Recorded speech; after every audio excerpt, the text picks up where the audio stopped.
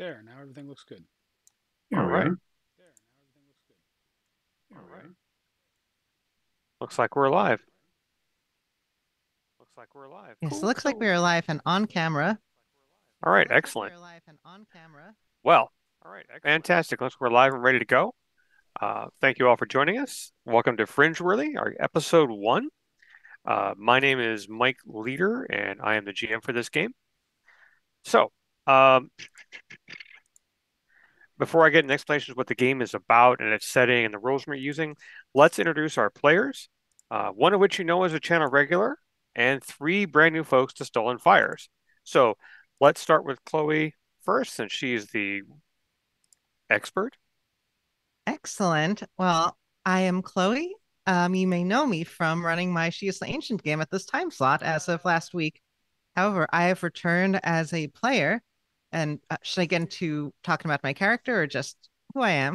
You can tell us, who- tell us who you are. We'll introduce characters in a, little- in a little bit. Yep, I'm Chloe. Yeah, like um, like I've been uh, playing RPGs for like six years now. Uh, but I'm excited to see this game from that is, I don't know, 40 years old or something like that. Yeah. Fantastic. Bob, why don't you tell us about, a bit about yourself? Uh, yeah, I'm Bob. I'm uh, a gamer for 40 some odd years since this game was new, although I've never actually played it. Uh, and I'm looking forward to it. Uh, Brennan? Hi, I'm Brennan. Uh, I also been have been playing RPGs for decades. I actually played Fringeworthy in the 80s. Uh, and so I'm very excited to be able to play this old school game again that I never thought I'd see anybody play. And last but definitely not least, Leslie. Hi, I'm Leslie. Um, I am predominantly a D&D 5e player. Um, but I have played a number of things and I'm excited to try something new. Oh, excellent. Um, I'm excited to have you guys here because this this is fun for me.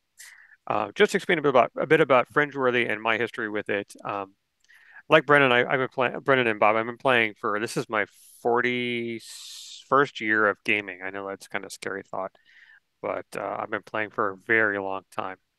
But I played Fringeworthy in, in the early 90s when its second edition came out.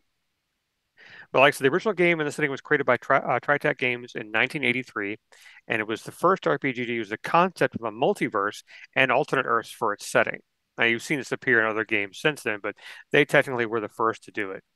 The idea of humans discovering a gateway that gave them access to pathways and other worlds was so amazing that even Hollywood supposedly copied the idea. The game would spawn a second edition, like I mentioned, in the early 90s, and that's when I first got to play it with some friends who were brand new to me at the time, too. And we, we played in a campaign that went on for the better part of two years. Uh, and it was an amazing experience, and it's always sat fondly in my heart. And realizing that this year was the 40th anniversary of this game, I thought, well, what what better time to try and actually, you know, talk about it again to see if we can actually get a, get a feel for it. And I'm glad these players have signed up for it. I'm glad Bob, in addition to Brennan, who's played the game before. Now, speaking of the game, uh, we are not using the system that came with the game, the original game, and it, the original game as well as the um, second edition, because by modern standards, it's a bit clunky. I mean, it's 90, it was 92, and you had THACO and you had percentage rolls. It, it makes me twitch thinking about it. So what we've done is we've sat down and we worked out utilizing Chaosium's a basic role-playing system, which if you play Call of Cthulhu, you know how that works. Uh, but it's a generic system designed to work with pretty much anything. And I picked that because it has a, a huge skills uh, skill setup for players, and so you really kind of get the feel for what's going on in this in this setting. Now, um, I'll explain the setting. Uh, in this setting, in our, version of Earth in 2007, a Japanese climate research team working in Antarctica discovered an alien base that had been there for at least 5,000 years. One of their own, Sayumi, walked up a ramp and just disappeared before their very eyes. They didn't disappear when they walked through it. No one knows what happened. They continued working there, hoping that whatever happened would she return. And days later, she came back to the same spot with an amazing story of pathways to worlds and a starry void. And so, after all this and what she had told them, they raced back to the United Nations. And The Nations quickly took oversight as Antarctica is a neutral territory. She explained to them that a tiny percentage of humans could walk these special pathways, and that she had been given the task to find them by an alien creature that she had met, had given her these special crystal keys that shaped like little pyramids. They look like D4s. But this creature has saved her life while out on these fringe pathways, and so it encouraged her to go back to her world and find more to come explore, as if they were made to do. So began the race to find the five millionth percent of our population who can actually possibly explore and find a way to help humanity save itself from a climate disaster. Yeah, that's uh, 0.00005% of the human population. So not many folks. And so this leads to um, some very interesting folks being uh, brought into the program, as you'll find out tonight. Uh, the special crystals that Simon brought back, they tend to glow in the, well, actually they don't tend to, they glow in the presence of, of folks, folks who are now dubbed fringe-worthy and they're being shown around the world at special exhibitions to try and find anyone who fits this bill. And when you meet our PCs tonight, you'll see exactly what we kind of got. So three teams have gone out now, but the media hasn't been able to understand much as the UN's kind of kept tight wraps on the situation. But now with this special fourth team, which is made up of our PCs, they have the media has been given some access to talk to them to find out what's going on and to at least uh, give the public who's hungry for information about this crazy idea of going to different worlds uh, without rockets uh, some information. So, if we're all ready, the first scene of this game begins in what looks to be a modified boardroom. There's a there's a table with five seats on one or four seats on one side and one seat on the other side. There are cameras set up in that room, and there's a BBC logo that's been put up on the wall behind the one of the chairs. Sitting in the one primary chair is a woman in her mid 30s. Um, she's actually well known on the BBC network. Uh, her name is Nagam Chetty. And across from her sits four individuals two women, two men. I'm sorry, three women, one man, right? Yeah. All looking very different in their own regards. We'll get to them in a minute. So, Naga reaches up and she says, Hello and welcome everyone to the BBC Live here at Hatsumi Base in Antarctica. The BBC has been granted special access here to help the public understand the fringe pathways and the concept of fringeworthy. These terms came to the public eye mid 2007 with the discovery of the 10,000 year old building locked into the ice here in Antarctica, built by some alien race. The location contained a scientific wonder that is only visible to one millionth of a percentage of humans, a portal that leads to pathways to other worlds. That means that these quote unquote fringe worthy could be just anybody from any walk of life. So the UN has sent out three teams so far, and several of you are familiar with the first explorer, Sayuitana, and South London's own Colonel Gordon Conrad, who uh, claimed to find pathways that led to other worlds and other portals. They brought back samples of technology beyond even beyond or even parallel to how things operate here. But now we've been granted access to the Special 14 that's about to leave soon and venture out into what Colonel Conrad called fringe space.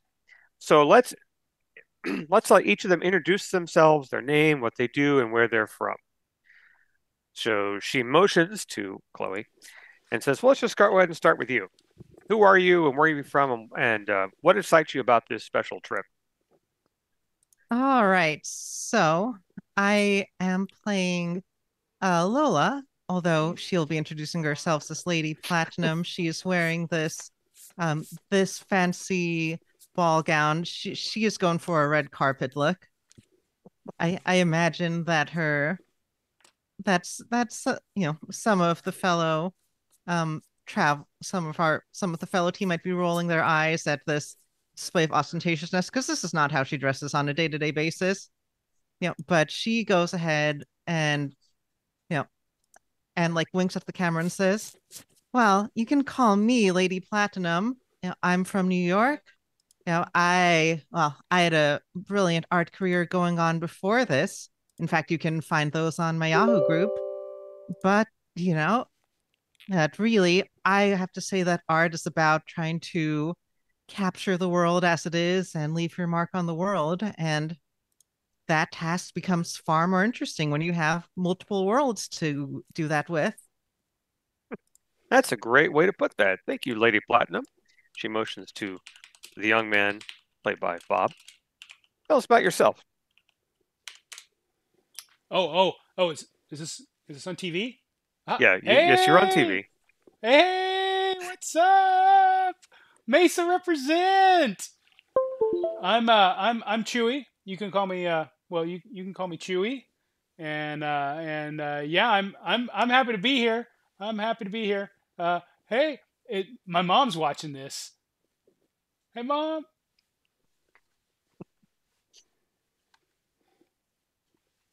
What do you what? Uh, tell us a bit about yourself, what you've done. Oh, I'm Chewy, and I'm from uh, Mesa, Arizona, and uh, and uh, uh, they told me that if I uh, if I, I, I came to work for them, uh, they'd take me out of. Um, so so so so you see, my uh, I I got arrested, and it wasn't my fault, but uh, they wanted to put me in prison because there were some stolen cars in my uncle's possession. Uh, I didn't know they were stolen, but apparently they were, allegedly my lawyer said just use the term allegedly. Uh, and the cars were stolen, and um, they put me in jail. And then they said you're not documented, and we're going to send you back to Bolivia. And I was like, uh, but I've never been to Bolivia. I don't know anybody there. I would much rather stay here, but I'd much rather not be in prison. And then this guy came to me and said, hey, you made these these rocks grow. We're going to take you someplace else. We're going to pay you a whole bunch of money and take care of this whole situation. And you just got to work for us. And I was like, uh, all right, that sounds great. I'll go where you go. Uh, give me some money. I'll hire a lawyer for my mom, and that's why I'm here. So that that's why you're wearing the orange jumpsuit. That's not your orange jumpsuit. Uh, this is the orange jumpsuit they gave me when they put me on the plane. Ah, I see. I see. Okay. Well, good. Good to know. Good to know. Um, you uh points to Brennan's character. So tell us a bit about who you are and what you do, and that way we know, you know, going into this, what to expect. So uh, I'll be playing uh, Sadie. Sadie is a 28 um, year old uh, American Hispanic woman. She is really, really physically fit uh, to the sense of clearly being just a, a gym rat, uh, fitness nut. Uh, and she will say, uh, well, I'm uh, I'm Sadie uh, Sadie Miller.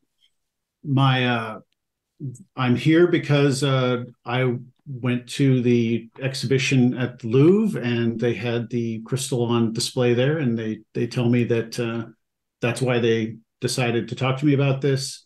Um, I am a professional athlete uh, by trade. Before doing this, um, I have been a professional fighter for years. Um, before that, I played uh, pro basketball for the uh, Sparks in LA. Um, I grew up in Los Angeles. Uh, my father was in the uh, Air Force and was a uh, pararescue operator for years and years, and then joined the fire department there. And so I was raised in Los Angeles. Uh, I've always really enjoyed physical sports and surfing and rock climbing and all that kind of thing before I got into basketball and martial arts and made those things my career. I am here because this seems like the most challenging thing that I've ever heard of. And I'm really excited to have a go at it and see how we can do. Okay. And uh, fantastic. Thank you very much. And she'll motion Leslie's character. So I see you're a captain in the U.S. Air Force. Could you kind of elaborate on who you are and, and Tell us a bit about yourself. Um, I am Captain Cassidy Wagner. Um, I actually have about a year ago what have moved on from the Air Force and was recruited by NASA um, to be an astronaut um, and have been training for about a year, but apparently um, they would like people from NASA to go on these kind of missions. So they came around with the little space rocks and what do you know? That makes sense to me. So just a couple questions for the audience from each for each of you. I just want to make certain that uh, they get to know, you know, what this is like, how this makes you feel. I'm sure. So, uh, Lady Platinum, uh, how do you think your special set of skills can help you on your mission to gather data for the people of the uh, for the people of Earth? I think uh, I think she leans forward and says, like I I know I know that Uh, that you know you go to school you hear all about you know joining STEM programs study biology or chemistry become a doctor or lawyer. But listen we are going to places that no one else has ever seen. And you know what? You know you can't bring video cameras recorders. Yeah I'm sure you've heard, heard the stories but you know part of my big role will be to help document everything that we find. After all yeah know, if we kind of ca- like the way that I'm able to portray what we see will be how all of you at home are going to be able to experience just just what lies beyond. Yeah. On top of that, I say I'm a pretty good talker. I'm pretty good at getting to know people. And, you know, some of these worlds have other people living their own different lives. Oh, you, you make a you make a good point. Uh, two good points actually. I, am really curious. I, have just only heard this a couple times, and you mentioned it now that um, you can't take video or, or that kind of data through through the portals. So that's definitely going to make uh, bringing back information kind of tough. So I guess having an arch along makes a lot of sense. That's that's very good. and we're lucky to have that. You know, your other point about meeting other societies uh, made me think about a question I have. Let's let's just go with you, Chewy. Uh, you know, our, our, one of our one of our other sources told us that there was a previous contact with the society in a different world. How do you think you'll handle meeting a whole new kind of people for the first time? I mean, they could be completely different from us here on Earth. What, what how do you think that would? How does that make you feel? What do you think? How do you think you'll handle that? Uh, yeah, yeah. So, um, uh, uh, I, I hadn't thought that far ahead, but uh, you know, like uh, uh, I'm I'm sure they're cool, right? Like like uh, I'll just be, hey guys, what's up? And uh, and maybe break some bread, you know, uh, give them some tortillas or some tacos, and uh, yeah, yeah, everybody everybody's cool. I mean that makes sense. Everyone likes tacos, so who doesn't? So, um, Sadie, what strengths and weaknesses do you think you bring bring to this team? As you face the unknown? Well, I um, I feel like uh, one of my strengths is that I don't give up, and uh, this seems like a challenging thing to do that will require us to perhaps face difficulties in uh, in what we're going to do. Uh, but I think most of all uh, that we're going to have to stick together as a team and support each other. One of the things that I've always been taught uh, the way that I was raised was that you take care of each other. When people need help, you help them. That uh, you look out for everyone. And when you have to extend yourself to take care of other people, you do that because you hope that they'll do it for you someday too. And so, uh, although we, you know, I, I fight for a living, but uh, I never fight to hurt people. I fight because it's a challenge, because it's competition, because we all need to find something that's difficult for us to make ourselves better. And uh, I hope that that's how this will all go. Great. That's good to hear. So, uh, Captain, um, with this great chance to help humanity, uh, there has to come some great danger. Um, what concerns do you have about this mission, and what hopes do you have to find out there in the fringe? I, well, I mean, finding uh, another group of life forms, I think, is kind of the thing we've all been looking for, whether it be uh, going to space to find them or going through these cool little portals. Um, as far as dangers, who's to say? We know that um, once we go through the portals, anything electronic will no longer work. Um, so not having things that we may rely on is going to be a challenge. Um, going back to manual tech is going to be a whole lot of fun. It's like camping. That's a good way to put it. I like that. Well, you know, I appreciate the time that we've been given today to talk, and and we I, I know when I speak for um, my home and for everyone else around the world who's watching, that we wish the the four of you all the best, and we hope to hear back from you soon and get updates on what's going on, and maybe we'll have some good success out of this that can help us survive longer. And because some of the biggest concerns we've had lately, and I'm sure you've been talked about it before, the UN's looking for better food for people, solving world hunger, climate issues. Maybe there's something out there that can help us that we we that we can we can have or find. So our hopes and dreams go with you, our prayers as well. We thank you tonight. Thank you for joining us. Good night. And of course, cameras go dark, red lights go off, and um, she's she gets up, she shakes hands with all of you, offers her hand to shake hands. You know, we do. I do really wish you a lot of luck on this. I mean, I, I don't think I could ever do this. So, what you're doing is pretty brave. So, good luck. And she, ex- but of course, we'll be excited to come back with updates. So you guys get escorted from the room, and um, one of the assistants says that the, that Colonel Zabregniev wants to meet with you. You haven't met with him yet. You've heard he's the big to-do shot around here, who apparently is in charge currently. He worked for the unit uh, uh, for for a peacekeeper unit many for many years in the UK as well as in Europe. So he's got a lot of experience with them, and they put him in charge of this thing recently. Uh, so they escort you to his office, including Chewie in his jumpsuit. Are you still wearing the handcuffs? No. Okay. But you have the handcuffs. I have the handcuffs. They Okay. just gave them to me after they took them out. They took them off of me and they just handed them to me because they didn't know what else to do with them. So they walk you into his makeshift office, and it's funny to think. We'll just describe the base. The base is massive. Uh, most of it is is is are alien walls. The metal you quite understand. It's not cold to the touch, but it feels the room doesn't feel as cold as it should be for being Antarctica. The room feels warm, or just warm enough, like close to about seventy to seventy three degrees. A nice, comfortable day at the beach, right? Or you know, summer in Alaska but nice for you to, to walk around in no problem. But this office has been, been dug out of the ice and built for him, and it is rather cold in there. So in the office sits a man who is probably in his mid 50s.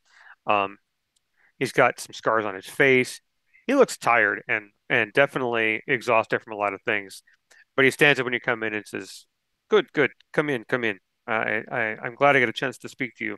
We're gonna try and get this group off the off the ground as fast as possible. Uh, again, my name is Colonel Zabregniev. It's a pleasure to meet all of you. I've read your files. Uh, I'm going to just kind of give you the things you need to know going out onto the paths, what we want from you, and what we want to give, what um, what your orders will be from us. Do you, you understand? Well, we are not. Well, this is not a military operation. The military is kind of overseeing things, and so we want to give you, we as in the United Nations, want to give you some directions while you're out there. Make sense? Make sense? All right, good. Good, good. So here, just go down the list. Um, let's see. Pulls out a piece of paper. Um, so I want you to explore to find resources that can be shared with Earth. So things like uh, food, water, uh, things that can help the problems we're having here.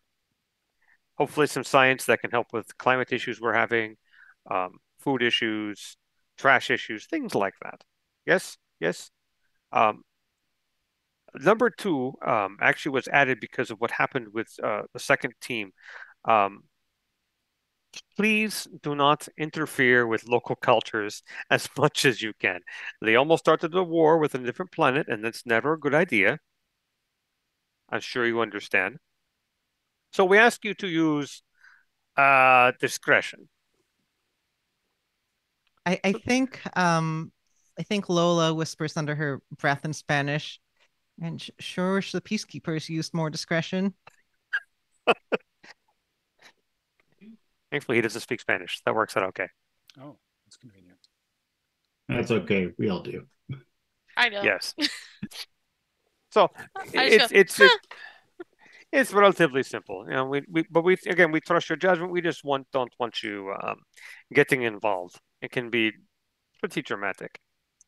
So um, also do not let any hostile forces reach out and attack Earth.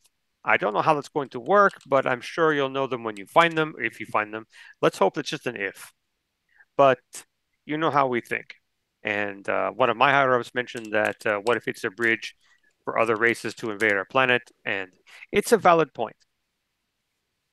So just keep that in mind.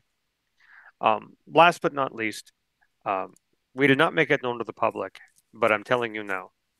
The third team has not gotten back to us. We have not heard anything from them. They're not reported back in. And that is a great concern. So hopefully you can find out where they went or what happened. Um, there were four of them, just like you. Uh, Colonel Polina Volkov um, from Russian Army. Um, Eloise Legrand, uh, she's a biologist. Uh, and Oteshi Ai, the Japanese um, Olympic acrobat. Very nice, very nice gentleman too. I liked him a lot. And Peyton Maxwell, um, he's from America. America, he's um, I don't know what he did. I think he was a bum, but you know. Anyway, if you if you can find them, um, there's some descriptions. I think it, yeah, I think Lieutenant Yates will send that out with you. So, uh, um, Anyway, uh, I'm going to have to give you over to Lieutenant Yates, and she will take care of everything to get you set up. But you should be able to leave sometime tomorrow. Yes? Any questions for me? Are we going to meet aliens? Well, um, I haven't been out there myself because I'm not fringe worthy, but uh, Sayumi said she met one, and so we know they exist. So, uh, like I said, Tom be on your best right. behavior. I'm Uh, sorry. Are they going to probe Tom us? was right. Well, maybe just don't don't argue with them. Maybe they won't probe you. I'm not into that. I just want that on the record. Not into that. You know, probing thing. I'm sure if you tell them you're not into it, they'll be fine with that. All right. As long as it's on the record. Um, of course, of course. Any other questions for me? All right, then. Um, presses a button. Uh, Captain, Captain, uh, Lieutenant Yates, come in, please. So a woman comes, a woman comes in. Uh, takes you out, and is walking over to the main portal area just so you can see what it's like. Um, we got all of the equipment that you requested. We gave the list to you, and I think everything you wanted should be on it. We've packed up uh, the main truck as well as the uh, Humvee that you have. And uh, if you have any questions about it, you can let me know. Small thing is I can probably make changes right now for what we have in base, but you should be good to go for tomorrow morning. We'll all be present, and we're gonna make a big deal about it. You know, the, the media will be here, yada yada yada. You know how that goes, right? But shoot, I'm well aware. Yep. Uh, Mike, this is after we've had, you know, like our couple of months of Oh, yeah, training and getting you've gone through months of training, yes. She'll reference that too. After your months of training, this should be really easy for you to understand. You know, the way Sayumi and Conrad made it sound that this should be a walk in the park for you. And uh, since, again, you're more physically active than the two of them were. So, between all of you, I think you should do fine. Um, but she walks you into the main room, and the room opens up. This massive room. And in across the room, equipment everywhere, video cameras, blah blah blah. Um, not a lot of machinery, but stuff and crates are placed in here. You can see the massive Russian truck that you've been given, as well as the Humvee, which look really weird because they have the mechanical start crank on the front of both of them, which you've never seen in a vehicle in your lives. But they're loaded to loaded to the brim with all the stuff you guys have requested and was going to be given to you. But more importantly, across the room, up against um, the ice wall, you can see it. It's 50 feet tall. This giant black ring. And it's not just black, it's nothing. Black, black so deep that it's beyond that color. And you can see it slowly turning in a clockwise manner, very slowly. but you Why can does it feel turn feel- around? You asked that question out loud. Yeah. What do you mean? She says. What do you mean?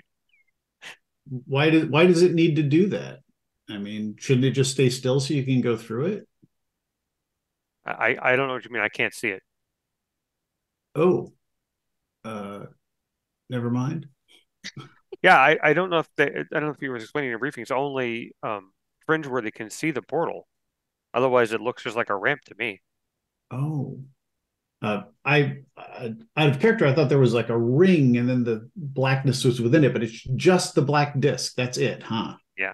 Okay. Well, yeah, it's uh, yeah, just it's interesting. The platform itself is rather large. The ramp up to it, it's a platform, and so it's made it's made of metal that you the same kind of metal that the building is made out of. It's a little, it's a little, it's a little bit corrugated. So when you put your you put your foot on, you can feel it's got traction. It's not Mhm. slippery, but it's rather big. And this thing is 50 feet across. It's not like it's a it's a it's a tiny platform. It's a 50 foot across platform. It makes the Stargate and the Stargate TV show look small. Is the ramp up to it um, part of the construction of this uh, that was here with it, or is it something that was installed to let people walk up to it by us? It- No, it's part of the building. It's the same metal of made of the, the building is made out of. Huh. If you look, it's actually part of the floor. Oh, I think is Lola is busy sketching out, you know, like um you know, like first encounter or something like that. She's workshopping titles. If you look over, like all of us look very slightly taller and more muscular than we actually are. Nice. But the interesting thing about the chamber too, the the disc feels almost like it's calling to you. This is the first time you've seen it, and uh, it just you can you can feel it in your chest, like you you want to go touch it. hmm. So we're just gonna walk through there. That's the we're gonna get in the truck. Well, we're gonna get in the truck and we're gonna drive through there. Now that and she says that's that's the plan. And this is most one we've ever sent out with anybody. So uh, even Team Three didn't take that much. They took horses and a and a pickup truck.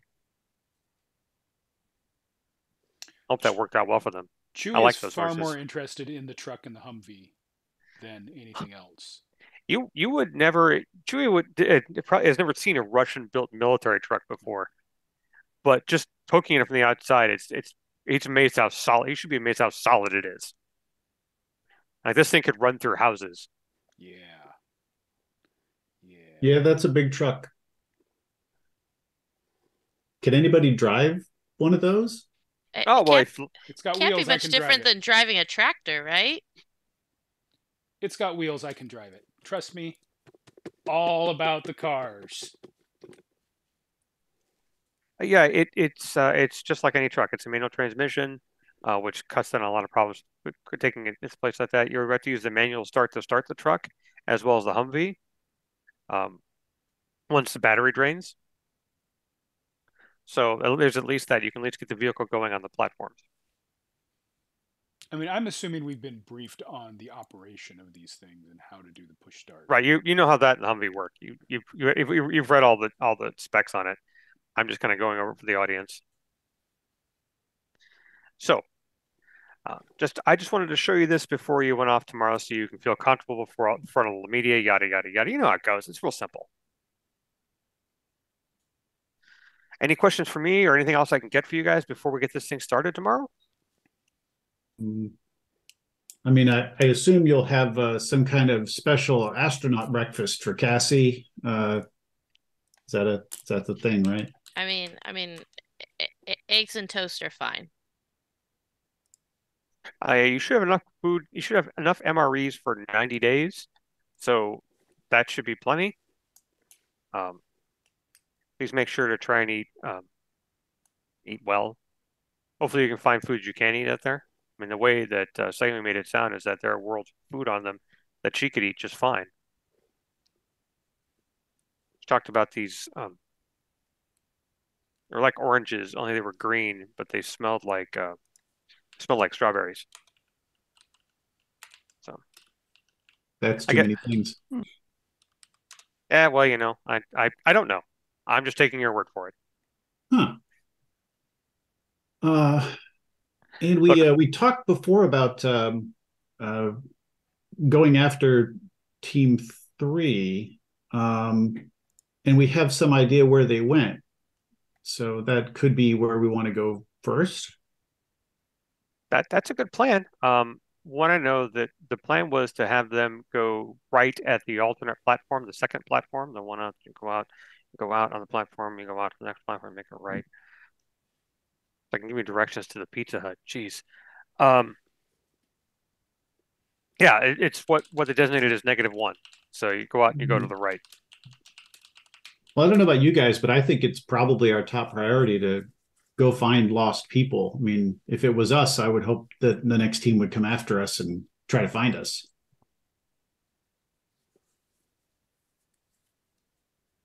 Yeah. Yeah. Seems as good a place to start as any, Yeah. especially if they found things, then we can at least bring back their work. And their horses. Um, I'm not optimistic for the horses, to be quite honest. Uh, horses survive because they're scared of everything. They just run the other direction. They might be okay. Um, Lieutenant Yates also adds, I know the colonel wasn't very clear about this, but like I said, you only got food for 90 days. So we hope to hear back from you within that period of time. Between you four and me, I'm I'm concerned. I, I know uh, that sounds a little silly coming from me, but if you have to understand that we sent out professional soldier, uh, Corporal Volkov, and they didn't make it back last time, and so it makes me very concerned for your safety. So please, try not to get into gunfights. Try not to get into, do anything stupid. We want you to come back alive. We're going to try and find more fringe-worthy in the meantime, but it's kind of up to the four of you to make a difference here. Not to put any pressure, but yeah, I'm putting pressure on you. The other teams came back, right? It's just the third team we're still looking for. Yes, the first two teams came back, but they didn't. They didn't. They didn't, they didn't explore as far out as you're going. I mean, at best, you're gonna be what, 300 miles from home or in the middle of infinitely s- far, however you see it. Who knows? I mean, it's all different out there. And I, I wish, I wish Colonel Kramer was here to talk to you. Uh, that would have made a better, made a better difference if you ask me, because I, I haven't been on the pathways. But everything he told me, he said just you're going to be surprised.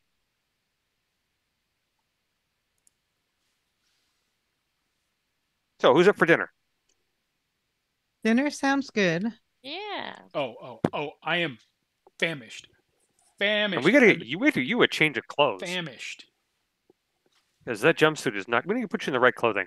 In fact, uh, I think I got uniforms for all four of you, so let's get you into those too.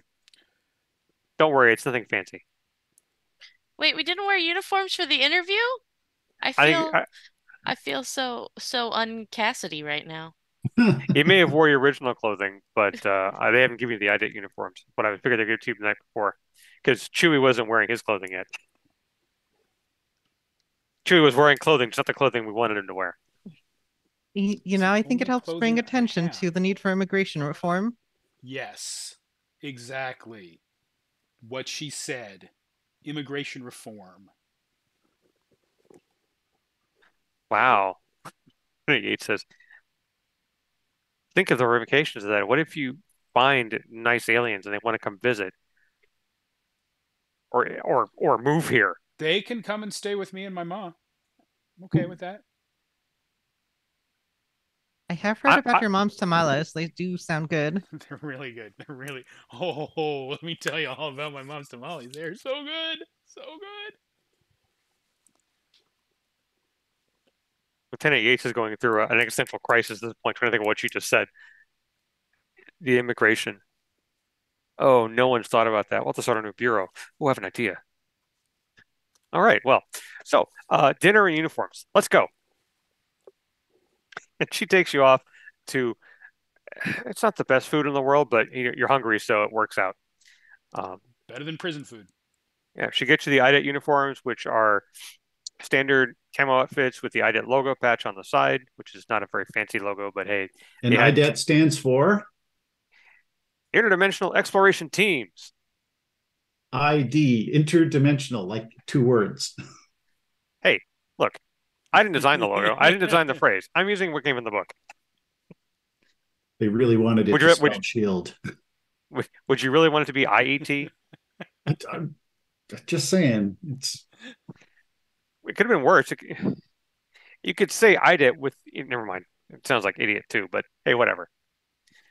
But So yeah, uh, of course, Sadie will, you know, Sadie is constantly exercising, you know, running, and they have treadmills here. She runs miles every day and does push ups and chin ups and everything they'll let her do. So she's always, always hungry, always eating to maintain her build. Got to, got to stay fit, got to stay ready to go. It's funny. The military personnel here are all kind of happy to see you guys, and they treat you rather well. You don't feel like a um, uh, like a, like an outsider, like a civvy. They all treat you pretty much like they treat their own because you're doing something really dangerous that they have no concept of, and uh, but they've been briefed on it too, and so they get it's always you know oh no go ahead or you know I'll get that for you or good job hope hope, hope we're gonna we're hope hope to hear back from you soon.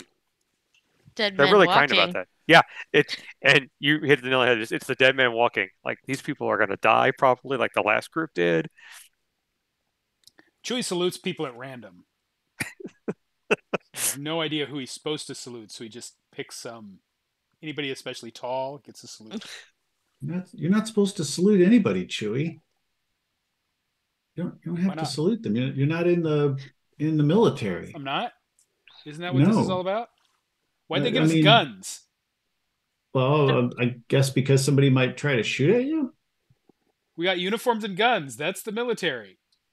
They give you a uniform when you work at the sanitation company Yeah, picking but up they don't give they don't give the garbage man a gun. They gave me a gun and they gave me a uniform. Uh, That means I'm in the army. That means you salute people. I've seen it. I watch TV. Has, I has can't argue anyone seen if Chewie. Chewie eats crayons? Because he's got he's got the M word written all over him. you got a you got a. I think you got a good point there, Chewy. you should definitely salute the captain because you know she's a captain. You don't even have to. That's right, check. Captain. Mon Capitan. For those of you who haven't realized, um, Bob is playing Lewis, Luis from the MCU. I know what you're talking about. It's, uh, so, uh, does Cassie wear her uniform? Like, does does she wear her rank uh, on her collar and everything? Is that a thing? Or are you on some kind of Well- detached duty? Because now I'm working for NASA, not the Air Force, but you don't lose the title when you retire. no, you're still you're still your rank when you're working for NASA. yeah, 100%. you're still Colonel Neil Armstrong or whatever. yeah. I don't know. That's the part I didn't get researched well enough. Um. No big deal. It's okay. Um, Brennan, didn't you write a book on this? Shouldn't you know? I I procedure did in fact write a book on the Air Force. My dad worked for NASA, but well, there you go. Um, they'll they'll they want you guys to wear the the IDET IDET um, fatigues. It's just easier for you to manage. There's other clothing you can take with you, but for the press junket tomorrow, at least wear these at least wear these things until you until you've gone through the portal. After that, it's all you. sure. What do the IDET uniforms look like? Are they like jumpsuits or what are they? Uh, no, I, I, I would I would I would akin them more to army fatigues. Easy to I wear, feel- easy to put on. Name tags and pa- name tags and IDET patches. Yeah, uh, Louis. Uh, yeah, uh, Chewie does have a have an outfit with his with a name tag and a special IDET patch on the side, so it's military to him. Yep. They gave me boots. got Official army boots. Now you're going to have to polish those, right? I got a belt, which they didn't give me in prison. Made it hard to keep my pants up. That's why they give you a jumpsuit. So you don't have any pants. you had to hold up your jumpsuit? That's a messed up jumpsuit. Yeah, uh, Okay. As soon, as soon as they give Cassie a you know a jacket and, and you know the first thing she'll do is take off her jacket, so she's just got her t-shirt on, just stretching around her her biceps.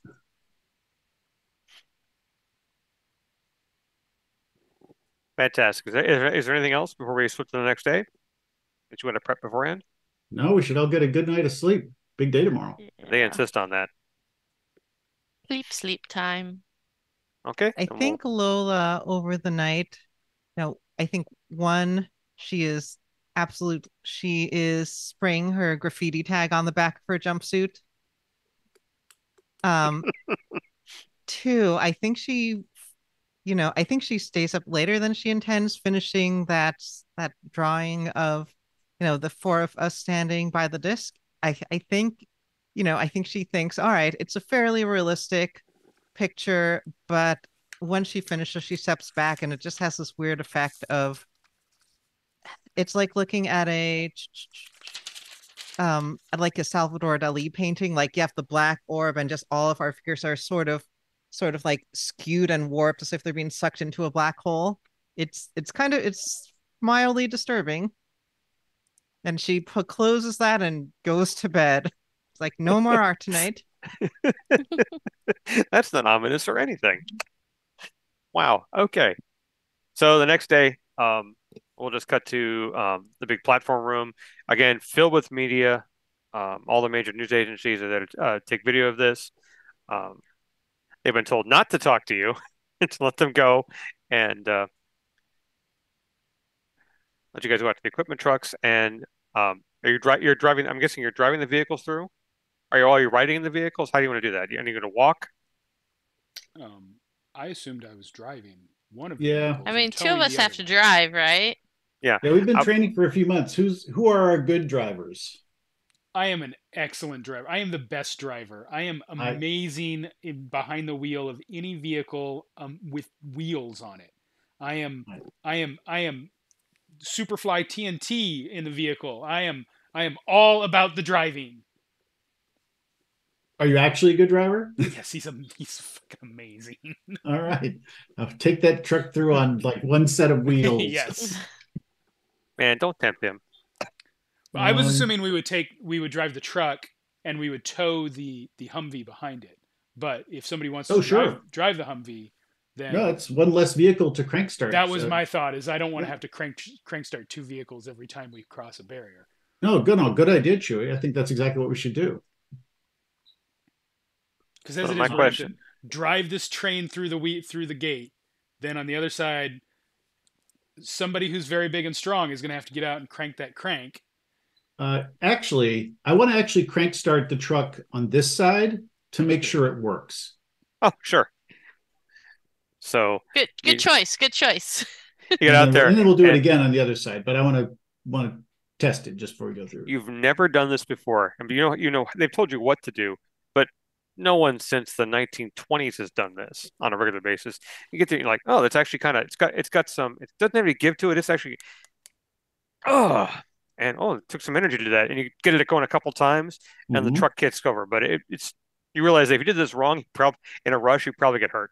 Yeah, you, you, if it kicks back on you, you can you can literally break, Break your an arm. arms on these things. Well, I'll uh, I'll keep that in mind when I do it to sort of hold it in a way that will allow it to kick away from me without taking my hand off. Uh, you know, maybe stand in a in a safer position than I was just to make sure next time I do it. Um, Hopefully, I- we'll never be in a situation where we need to wind it up quickly to get away from something. never. Oh, that was a jinx if I ever heard one.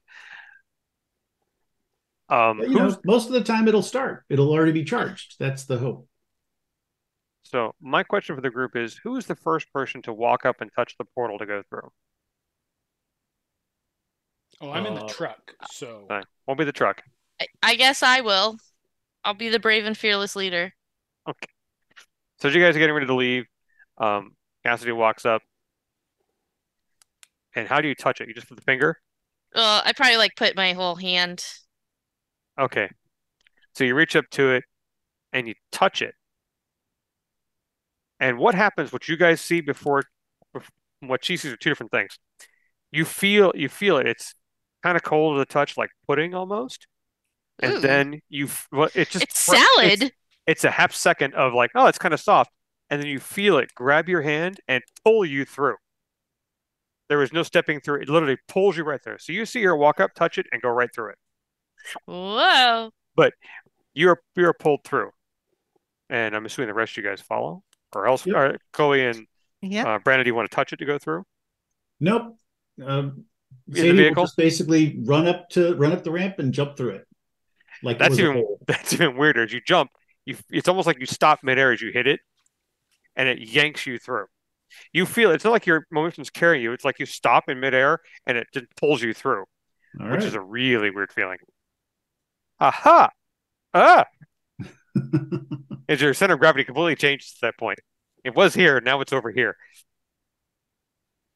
And Chloe, are you walking through it or are you riding the vehicle? Uh, I'll say Chloe. I, I'll, I'll say Lola goes in the vehicle. That way, it's two and two. Okay. Um, and on the other side, we get out of the way. and, and uh, Bob, as Chewy pulls the truck up to it, like, okay, well, they went through, no problem. You pull the truck up to it, Chewy, Chewie, you do, feel it. Crosses himself and says a very pathetic uh, version of a of a prayer to Saint Christopher. He he doesn't actually go to church often enough to remember the right the right prayer, but he tries his best. Okay, I think Lo- Lola puts a hand on his shoulder, and, and it's like, "You- "We got this." and as the truck touches the front of the portal, it's like um, you've been on the roller coaster at Disneyland? When it launched an an induction roller coaster, you get pulled forward, you get pushed back, Mhm. and it's it's only this exact time you're pulled forward. Like you feel like whoa. It's not out of control speed. It's just you just you weren't ready for the pull forward. And you guys roll through the portal. And now you're in this place that you've never seen before. It is so quiet. For those who are not in the truck, it is so quiet here. It's hard to describe. You're on this giant metal disc, probably 600, 600 odd, 600 change feet across, you're guessing. And there are portals just like the one you went through. In the different clock spots, I, I talked about this before at the the one the uh, one the two, the four, the five, the six, the seven, the eight, and the nine, the ten. And you know those are all portals into Earth. But you, you pull the truck up on the thing, you guys are standing there looking. It's just so quiet. You've never heard it this quiet before in your entire life. You're all used to a place that is full of noise, 24/7 almost, unless you've been in the Alaskan wilderness or far away from people. It's eerie. What's also odd, you've been outside at night. You really don't get to look at the stars. But this portal goes out to 600 feet and, and just drops off. It's a big disc into nothing. There is nothing there but this giant black field of distant fuzzy stars that seem to kind of change color and wink and move periodically. It's not disorienting, but it feels weird. Coming through the portal felt a little weird to your stomach, but it's not cold, it's not warm, it's just right. It's a Is there a ramp on this side? There's a ramp on this side, yes. And Okay. you see all the other platforms have ramps as well. Do the discs on this side turn around? I'm sorry? Do the discs rotate Yeah. They all they all slowly rotate clockwise. Okay. It's really slow. And they rotate on the short axis, right? Not on the long axis.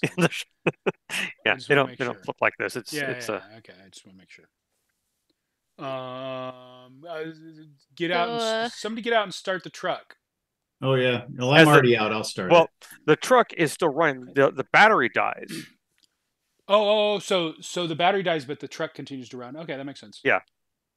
Oh great. Um and you guys feel it and there's all anything electronic you guys own is dead. No, I like this watch. Uh, was a digital watch really?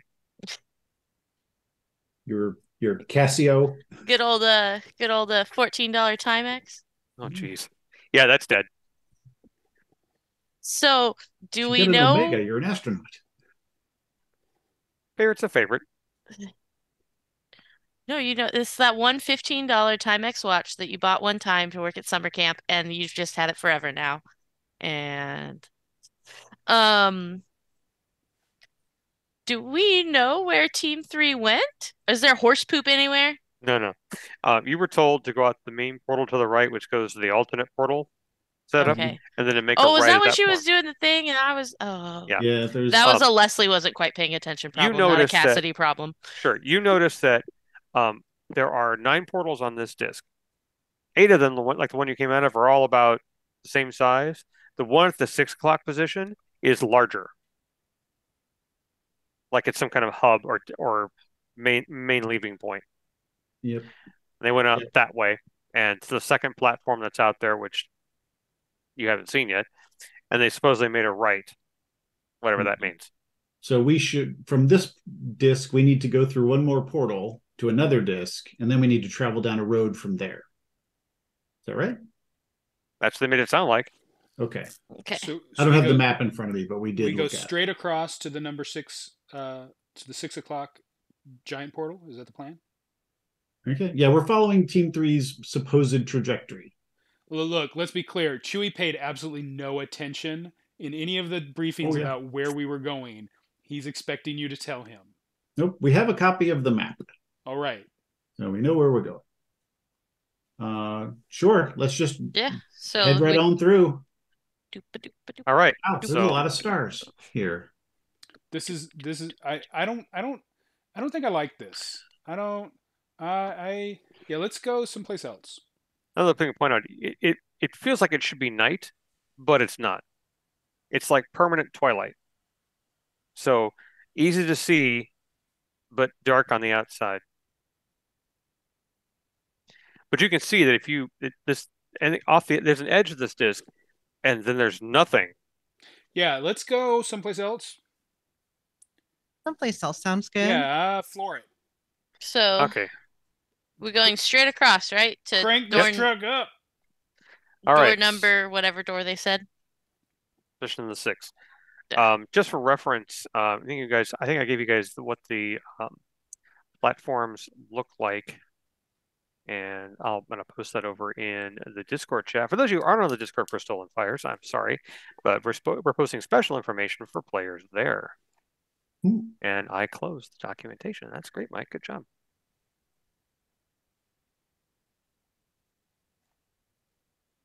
So let me fix this.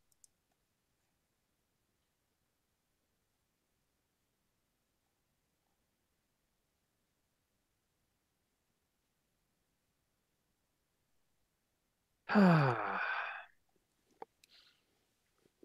It is.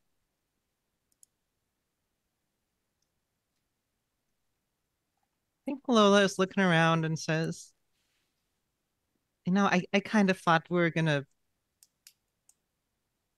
you know, end up on an alien planet and have some, I don't know, weird slime towers. I'm sure that's coming. This thing is 50 miles long. I thought we were gonna go like uh, you know to to to to to, to another planet, and there'd be like uh, purple trees and uh, and and spaceships and uh, and stuff like that. Uh, nobody told me we would be out here in the middle of nowhere in a whole lot of nothing, uh, and I don't like it. Yeah, this is the between part. You, you come to these discs, and then there's these long roads that connect the discs, and then you go through another one of these circles, and then you go to the different place, different planet. All right, We're in go. space. Yeah, this is I, I don't like this. And Cassidy would know since you work for NASA, you've got you, you understand astronomy. Um, these these may be stars or lights. You're not quite sure. They don't look like any kind of constellations you know, That's what I was gonna ask. and they tend to Um. move and change colors. Oh. It's the the Neopets uh acid Yeah, you don't want to stare at that for too long. Constellations. you can get lost in staring at that. Okay, so we'll just move this along, and you guys go up the secondary ramp into the portal, and you pull out onto this massive pathway, and it just goes off into the distance. You can't see an end from this point. It just goes straight. But How it's wide is it? Yeah. um, I wide it? believe they are. Oh, I had that information written down, and I don't know where it went. Well, that's stupid. Hold on. Oh, I got like six thousand pages open. Give me a minute. I mean, the real Not question enough. is how wide is it compared to our truck? Is it a challenge to drive the truck on it, or is it just really Here huge is. and it's no problem? Uh, the fringe roads between platforms are forty-seven feet wide. Oh, that should be Yeah, enough for the truck. the truck's like 12 feet wide. Rather it'd be big, easy so- to it'd be easy to accidentally drive the truck off it though, so be careful. Uh, I mean, yeah, there's yeah. no don't don't guardrails. Don't don't don't don't don't worry. Chewy's Don't- got there's this. that little guy in the cloud who will come and get us with his fishing pole and This put us back on. This is this is a this is kind of like Mario Kart, uh, Rainbow Road. Uh, Chewy's got this. I have I have spent a lot of time on Rainbow Road. Punch it, floor it, okay. moving across this road as fast as I can in this bigger All right. truck, which is probably like 40 miles an hour. But Forty-seven miles later. wow, Hmm, interesting. 47 across, 47 long. Huh, weird. Um, you reach, you see another portal in the distance. You pull up the ramp, you go through it, and now you're on a different set. It looks a little different than that. Find the picture. Um, all right. So this is not Chewy's thought, but is it really 47 feet and 47 miles long? Yeah, 47 they tell feet you- wide and 47 I it- miles. I thought it was 49 miles or something like that, close to That's it. because- ever 47, because- 47. Th- that is fucking weird. If it was 47 meters wide and 47 kilometers long, that would make sense. But 47 feet by 47 miles, that makes no sense at all. Apparently, aliens even That is- hate uh, the metric Yeah. system. Yeah, I mean, the I don't a- think aliens aliens use the imperial system. I don't think it's exactly 47 miles. I think it's just ish. Uh, if you Um, get a, if you get a chance, if you're part of this and part of the Stolen Fires, you can look at the box seats to see the pictures of the platforms. Just so for reference, same for players. You want to go to the box seat section section of uh, Stolen Fires, you can see that those two pictures. um, The alternate platform, as you pull onto it, has. I'm sorry. Go ahead, Leslie. have we seen evidence of horses? No, Yeah. I actually haven't. I've I've been wondering if you drop stuff on the platform or on the road, how long does it stay around? Do they like does it get swept off somehow once in a while? Are the little guys who come out here and clean up after us? That that sounds like a good experiment. Yeah, why don't we leave What's- something on the road on the What way do we have there, a ton of? random We have a ton of chapstick. Yeah, we'll just leave something in the middle of the road. We'll stand up. we'll stand a little little tube of chapstick on the leave, road. leave a trail of chapstick. They'll know where to find us because they'll just follow the trail. Because of we have chapstick. like 500 I chapsticks. know. I'm not. I'm sorry, we have we have 500 Let's- Burt's Bees lip Let's be clear. I'm not saying that's a bad idea. I think it's a hilarious idea, but I also think it's awesome. Yeah. So yeah, we'll leave leave something out there. It doesn't have to be a billion of them, but like a, a couple, so we can check and see if they're still there later. That's interesting. Uh, and then and on the new platform, does it look the same as the other one? You know, it looks a little different. It looks the same, but different. In this case, you have um, 8, 9, 10, 11. So we have 12 portals. Four large ones, one you just came out of, and eight smaller ones. Now, they explained to you this one, this is what the what Xiaomi called the alternate platform. Leads to alternates of our Earth, and it's already been explored. Okay. And uh, there's a list for you guys. If you look at the Trello, there's a list of things, and I can provide that for folks in the audience. If you, we'll talk about that at the end of the of the game. Okay. And we want to turn either left or right to go Right. to the minus one set. And I can't remember which it was, left Right. or right. They uh, Lieutenant Yates told you turn right. All right, so we're gonna take a, a right turn and go through the other large portal onto the next road. Okay. Right turn. Yep. You, you go out, you make uh, turn, turn, make the turn. Same thing as last time. Same sign, same kind of road, same kind of distance. And still no horse poop. Nope.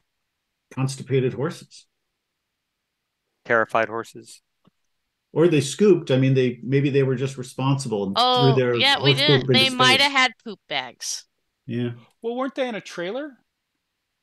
Were they? I thought They they, said were they had a truck and a trailer full of horses. Oh, A well, truck I and a trailer. that's it. Yeah, Yeah. but do you really think that all the horse crap stays inside the horse trailer? Because Well, I've I got mean, news for you. I'm, I'm sure it doesn't, but it's still, there probably wouldn't be like you know big old road apples laying around. I'm just glad the truck doesn't die every time we go through a portal. Yeah, me too. There'd be a bunch of dust and crap all over the place, but not like you know piles. Yeah, there's no there's no but also dust, like anything like that on the on the platform either. No dust, things like that at all. our, Now, I didn't mention earlier, but as you pull into the ultimate platform, you notice that each of the eight smaller discs has a small pylon next to it, about uh, about four and a half feet tall, and it's kind of the top kind of tilts down to the side, and there's a triangle and triangle lights inside of the triangle. It's where the Roomba comes from. Okay. What have we been told about those pylons and what they are and how they work? Uh, you've been told that from what they understand, which is very little at this point, that they have something to do with uh, maybe possibly environmental controls or how the disc is turned on or off. Because they know that one of them on Earth, two, a couple of them on Earth are turned off and they can't enter them, but they realize they know where they are. They're under the ocean, so probably safe that they're turned off.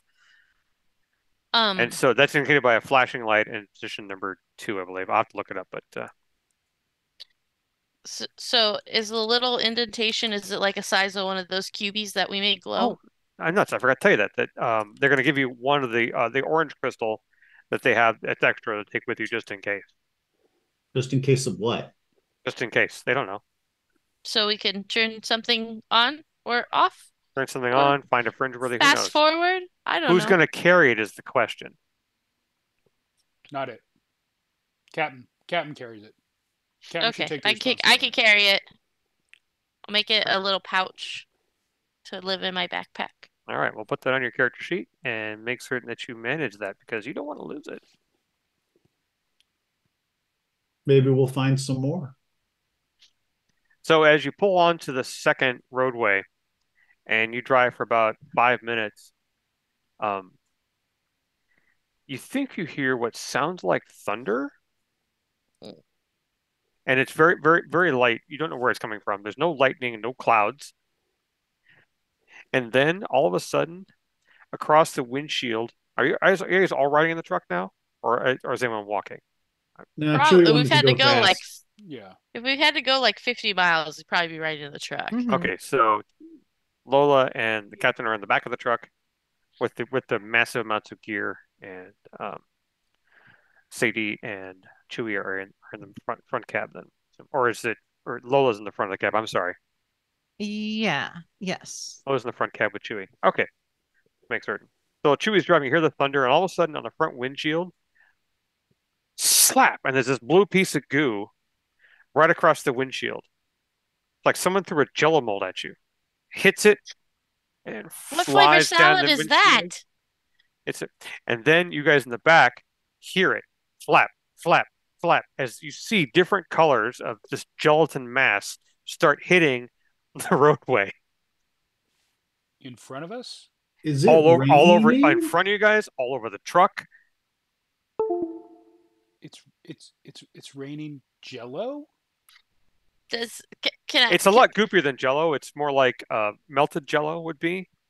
It's goopy, does it like slime. does does it does it smell like fruity? Well, is Chewy stopping the truck? Is the first question because you really can't grab it till it does. Uh, I'm slowing down because I don't want to slide off the road. Good idea. Okay, it's just raining this stuff now. Not heavy, but enough to like the hell, and it's just the horrible sound of slap, slap. Um, I turned the windshield wipers on. that just makes it worse. Oh. Is like flubber and it's just all like Jello slime. Um, Cassie wanted to reach out and grab some. As it's hitting, you reach up the top of the truck and you put your hand out, and you hit sli- you get slimed. Hit your hand, and it's just it's this weird purple goo, and there's kind of an acidic feel to it. And she's like, "Oh, it kind of tingles on my hand. Now I can't get it off my hand. Fuck." Don't touch it! Don't touch it! You know, astronauts usually would use, I don't know, in a movie, you'd use a stick for that. Yeah. As her arm is now covered in purple goo. I'm out of practice. Um, what and the more you do try and shake it up, the worse it gets. Oh, then I stop shaking. this is I gonna feel like I would ruin- notice that. Gonna ruin the paint on our truck. Yeah, we'll close the hatch and uh, I'll have a look at her arm and make sure it doesn't seem like it's burning her or anything like that. No, it's not burning her. Um, it's definitely got a small, a It's- very lightest. It's like it's like it'd be like heavy duty It's a vinegar. mimic. Not it's a not mimic. not a Oh, five no. percent vinegar solution, but maybe like a forty percent vinegar solution. Like, oh, that, that's gonna stink. That's gonna tingle a lot. But nothing nothing harmful. Just weird. It doesn't seem to be moving its own accord. It's not alive, from what you can tell. Um, sh should we try putting water on it? Well, we'll clean, I'll clean it off as best I can without touching it. I'll put on some gloves. Oh, we have a lot of those. Yep, and then I'll I'll clean it off as best I can, uh, and put it in a in a bag, you know, in a in a waste bag, bio waste. Okay, we'll get back to that because it's going to be uh, be a minute and well, longer than a minute to try and do this without making a mess. So Chewy slid on the truck. The front of the truck is now covered in multicolored were these these slimes. It's just all over the truck and it's just kind of rolling down it as the truck is warm. It's, I guess you could tell it's melting. You're not quite sure. It's just goopy all over the front of the truck now. See, we should ask for flamethrowers. Um, It doesn't seem to be screwing with the pathway at all. So so I am slowing to a crawl because I don't want to uh unless you guys tell me that you want to go faster, I'm gonna slow down to a crawl and and treat this like snow. Uh and move super slow. Crawl Like through. I imagine the windshield's probably it's harder to see out of it too. Yeah. I'm- Or since the windshield wipers went on, it, you, I know. minimum I it's- visibility, It's a three month trip. There's no need to hurry. ju- jelly on the on the on the the the surface of the of the road, which I don't know what the traction's like here. I'm gonna slow to a crawl. Okay, Okay. no, go ahead. Can you even see out the windshield, or is it all goopy? It It sounds like it's fairly goopy.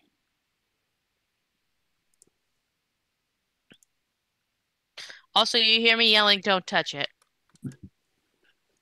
Nobody was going to touch it except for Don't you. touch it!" So it's going to take um, Sadie about five minutes to get this stuff into the bag, but it's all over your hands. It's actually on your clothing now. It just sticks to everything. Not in a bad way. Just to, how did it get on my? It's on my. It's on my arm. How did it get on my arm? Oh, you're gonna find it. It's awful. It's not crawling on you. It just seems to get all over you, no matter what you try to do. So you do get, but you do get a good sample in the bag. Well, we'll take this back to the lab for analysis. Someone else can find out if it's edible. I pull a sharpie out of. I, we tie the bag shut. I pull a sharpie out of my bag and I put space goo on the bag and the date, assuming we know the date. Um, the October first, two Yeah. thousand eight. Scientific Collection Space Goo, October 1st, 2008. Platform. Day one. Day one already. So then I pull out my notebook and I go, Today we found some space goo. It found you, it looks like. Yeah. Um, yeah, so if you drive slow, it shouldn't be a problem. I will make you make a drive tech check. Uh, but if you drive faster, you're probably really dangerous. Yeah. Chewy Chewy does not want Chewy drives down the dead center of that road. He does not want to get near either edge. And anything that causes him to deviate from dead center, he immediately corrects. All right. So you make it through this. Eventually, this this storm of gelatin stops, and you make it to the other portal, and you pull up and through it, and you're on to this negative one alternate platform. And we'll have a map for you guys for that later Ooh. that you can fill out. Because the important thing about this is taking surveys. You work in the United Nations, you get to take surveys. Ha ha. Does the So I have forms for y'all to goo, fill out. Does the goo go with us? Uh, it stays on the truck. In fact, if you guys pull it through, if you want to stop and get out of the truck and take a look at what it's done to your truck, you're welcome to. Yeah, once we get to the other side, I leave the truck running. Once we get Mhm. to the other side, I'm assuming there's nothing else still falling from the sky. No, it, it stopped. Then I stop the truck and we get out. And Unfortunately, I did not think to include a pressure washer in our equipment request. Uh, you get out of the truck, and it, it looks like a hippie van from the 60s. It's just got colors everywhere. And you can see where it's run off, and it's not destroyed the paint, it's kind of cleaned the paint. No, I, I, I I'm I'm into it. Could be worse. Yeah. We couldn't have brought a pressure washer anyway because we uh we wouldn't want to waste the water. Yeah, good point. I, I assume we have a big water tank on the truck. No. you have you have portable water with you, yes. But uh, Uh, yeah, I'm assuming we have survival water and yeah, survival water. You, this this is not Probably- we're not that far in the future to have a, a year in recyc, so it's not going to happen for you yeah, guys. I'm guessing we have like a, a barrel of potable water, but probably not. You're right. We wouldn't have enough water to actually spray anything off. Um, I get a little bit of Windex and spray it on there. There's got to be a there's got to be a hand squeegee that I can clean the window. Yeah, you get with. this. The squeegee works great. Yeah, you don't need to you spray get anything. I just squeegee off the windows.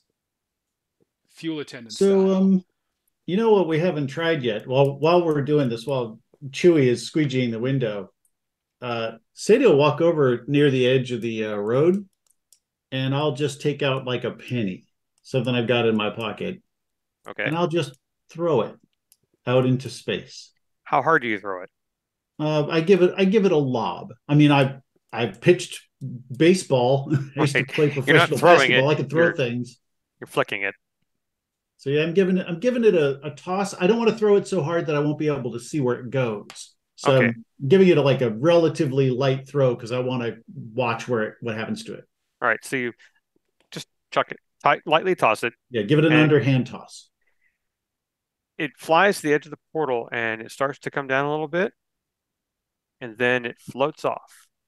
Yeah, there's no gravity off the side of this road. That's they told us that, but I hadn't seen it. So I It kind of floats off, and eventually you don't see it anymore. Yeah, and just you lose track of it. It's I mean space.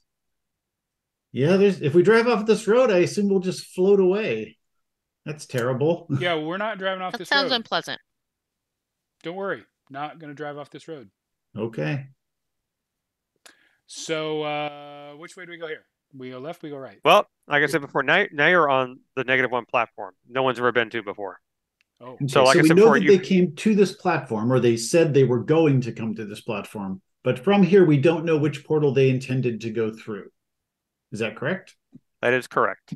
Okay. So there are eight small portals here, and two big portals, or four. Four. Okay. Hmm. You know, if I'd you be- go left from here, it's out to what they call the system platforms. That there are probably planets in that uh, in that prime world's location, but um, they've asked you not to mess with those because they don't know if they go to space, they could actually kill you or not. Okay. That and Mike doesn't want to deal with that crap. It's it's an annoying part of the game for me. And the platform we're on now should go to. Is this a prime platform? This is an al- one of the alternate platforms. So okay, so this got is also an alt. So this would Right. go to alternate versions of the prime world. parallel world that is the prime of this set. Right. So you have eight smaller portals and the four larger ones. Larger ones lead to more pathways to other, other portals. So you, if you turn right onto this one, if you turn right again, you're out to this this alternate prime. But you have eight portals to explore here. Do you think we should go up to the alternate prime for this so we can see what like the default for this world is before we look at all of its eight alternates? I think so. That's, That's probably where yeah, where Team Three would have gone first. sounds logical to me. I'm wondering how similar the alternate negative one prime world is like to ours. Or is it totally different? One never knows. All right. Well, it's I guess can, we'll go. go. It's up to you guys how you want to handle this. Do you want to go and check out the prime world? Do you want to check the things are here? It's up to you. I'm not going to tell you what to do. Yeah, it's like uh Mm. I know it know- sucks. I'm sorry. getting close to lunchtime. I guess we could uh, eat on the way. So I guess Chewy- Prime World first. Chewy yes? votes for the option that gets us off these platforms as quickly as possible. Well, that would be going through one of these alternates. The, if we want to go up to the prime, we're going to have to drive up another 50 mile road. Maybe through the rain again. I mean, maybe, but I mean, the rain didn't do anything, didn't hurt us. Okay. I, I don't like the rain. As y'all are fiddling around here, um, I would like person least involved in this conversation, which would be Lola, Hmm? to make me a spot check since you're just kind of looking around. Sure. First roll of the Uh, game. First Roll roll for wandering monsters. Uh, let's see. And would you like me to do it in the Discord dice? It's up, how, however you want to do it. I said I trust you guys, so you can roll it yourself or use the Discord roller. It's up to you. Not monitor the Discord roller, Oh, but I will question. now. It's That's question, question mark roll. roll, yeah. D100. Yep, that's it. All right. 71, which is higher than my spot of 51, which means I fail, I believe. Yes, you fail. So yeah, you, you, no, no, no worries. Okay. So you're just, you guys can just take the truck and just turn right and head off to the prime prime of this alternate. Are you, are you up for that, Chewy? Yep, You're the let's driver. do it. Okay. Okay, here we go again. You make the you make the right hand turn. You skip the eight, eight portals there. You turn right. You go in off uh, through the portal Hmm. onto the roadway. Forty-seven miles. All right, watching for. When we get to the end of this road, we'll take a break before we go through because Chewy's been driving for hours. watching for more rain. Why don't you take why don't you take a break on the alternate platform? We can take a break in real life. All right. So um, I'll make certain we have a chance for players to take a break. So uh, we're going to take, let's say what, it's uh, currently 8.22. So come back at 8.30. We all good with that? Sounds good. Okay. Yeah. All right, Bob, can you put us on?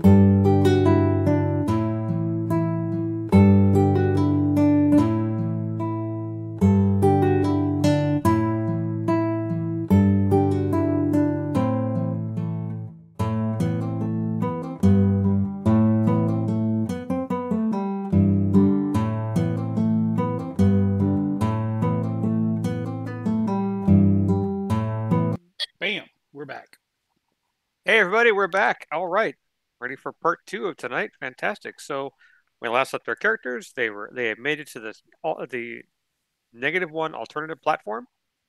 That sounds like a band. No, I said the negative one alternate platform, and they were discussing what they're going to do next while Chewie takes a break from driving the past 150 miles. So, Chewie, are you tired? Do you want somebody else to drive? Oh no, I'm good. I'm good. Okay. I, I got this. I told you I, I like driving. It's it's what I do. Well, you can like uh, driving, but you don't want to drive for, you know, No, this truck 20 this- hours straight. This truck straight. Yeah. Nope. I like this truck. Okay. You know what? Let's let's have some snacks. Take a breather. Stretch your legs. you can Bust go out very the far. beef stroganoff MREs. Chili Mac. I like- want- I like the want- buffalo chicken ones best myself. Mm. So I looked it up. Buffalo chicken they didn't start making until like 2011.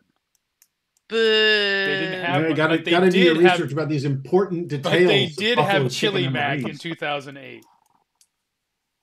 Chili Mac's probably okay. Yeah, the chili mac hot off the presses. Quite literally. All right. Hey, MREs are, are, are a modern miracle. Amazing how that stuff works. Shake So- Do they throw it in come the with? Do we have a bunch of tiny bottles of Tabasco now Yeah. from our MREs?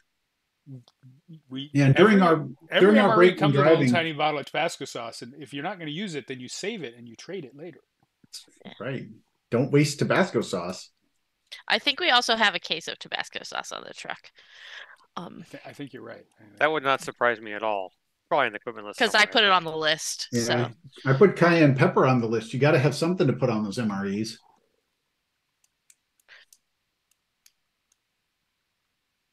All right. w- So which what direction are we going now? you would technically, if you wanted the the uh, prime world, you'd make a right and go through the large platform, the left, large large disc. Sorry, on the platform. And definitely, you can tell the difference. There are the four large large discs and the eight smaller discs. All right. So Chewy, are, are you actually from Bolivia? Like, were you born there? My mom's from Bolivia, and and and I was born in Bolivia, but she brought me to the United States when I was just a baby, and so I've never been to Bolivia. I don't know anything about Bolivia, and I don't have any friends in Bolivia. But my mom and my aunt and an uncle mm-hmm. and all my cousins, they all live in Arizona. Yeah. No, I get that. My my father was born in uh, Guatemala, but came to the United States uh, when he was a baby. When my grandfather married my grandmother in Guatemala, and then they came back here. Right, Guatemala. Never been there either. That's, I uh, it's not not as far as Bolivia. I've barely left uh, Arizona. I went to California. We went to Disneyland when I was a kid. It was pretty cool. Got to ride the Autopia. You know, Should may- go to maybe Europe, there's an Chewy. alternate Disney World in one of these lands. I have a And, cousin. he uh, lives in L.A. And we stayed with him. later. Alternate See, Disneyland. so- Got it. Okay. I've been to Paul Bunyan Land. That does not surprise me. What's Paul Bunyan Land? Is that a Uh, is that a real thing? y- Mhm. yeah, it's a real thing. I, like real life, Leslie has also been to Paul Bunyan Land. Do they have roller coasters or just I don't know, they give there you an axe and some trees? Uh, there was a log ride, um, and a giant Paul Bunyan that talks to you. That would, yeah. There were other things. Those are just the things I remember because I was like seven. No, I I feel like out here in one of these worlds we could meet a giant Paul Bunyan that talks to us. That's the thing that could happen. And a real Babe the Blue Ox, who in the winter Yeah. when he eats snow. Oh wait, Babe didn't make the milkshakes. That was the purple cow. I mean, they did say there was at least one world that was like a radioactive atomic wasteland with giant monsters. Oh, yeah. That's it. I'm looking for Paul Bunyan World. I mean, I I I read that's- all of the crazy stuff they gave us. That spiral bound book with the scary cover. It was bad. Maybe Paul Bunyan wasn't a folktale. Maybe he actually came through one of the portals. Yeah, I mean, the portals have been real. around for, I mean, uh, I guess a million years or some ridiculous thing. I mean, it's they're really old. They're in the Antarctic, so yeah, and they're all over the planet, right? There's eight of them. So yeah, stuff could have come through them before. We don't know.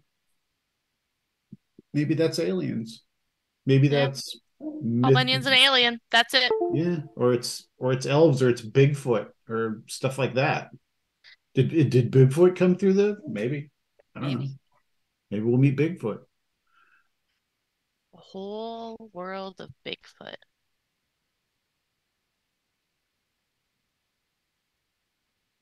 I need some We're- coffee. Yeah, we we're thinking about Bigfoot and aliens, and when we go through one of these, what we're going to end up with is like Minnesota is what we're going to end up with.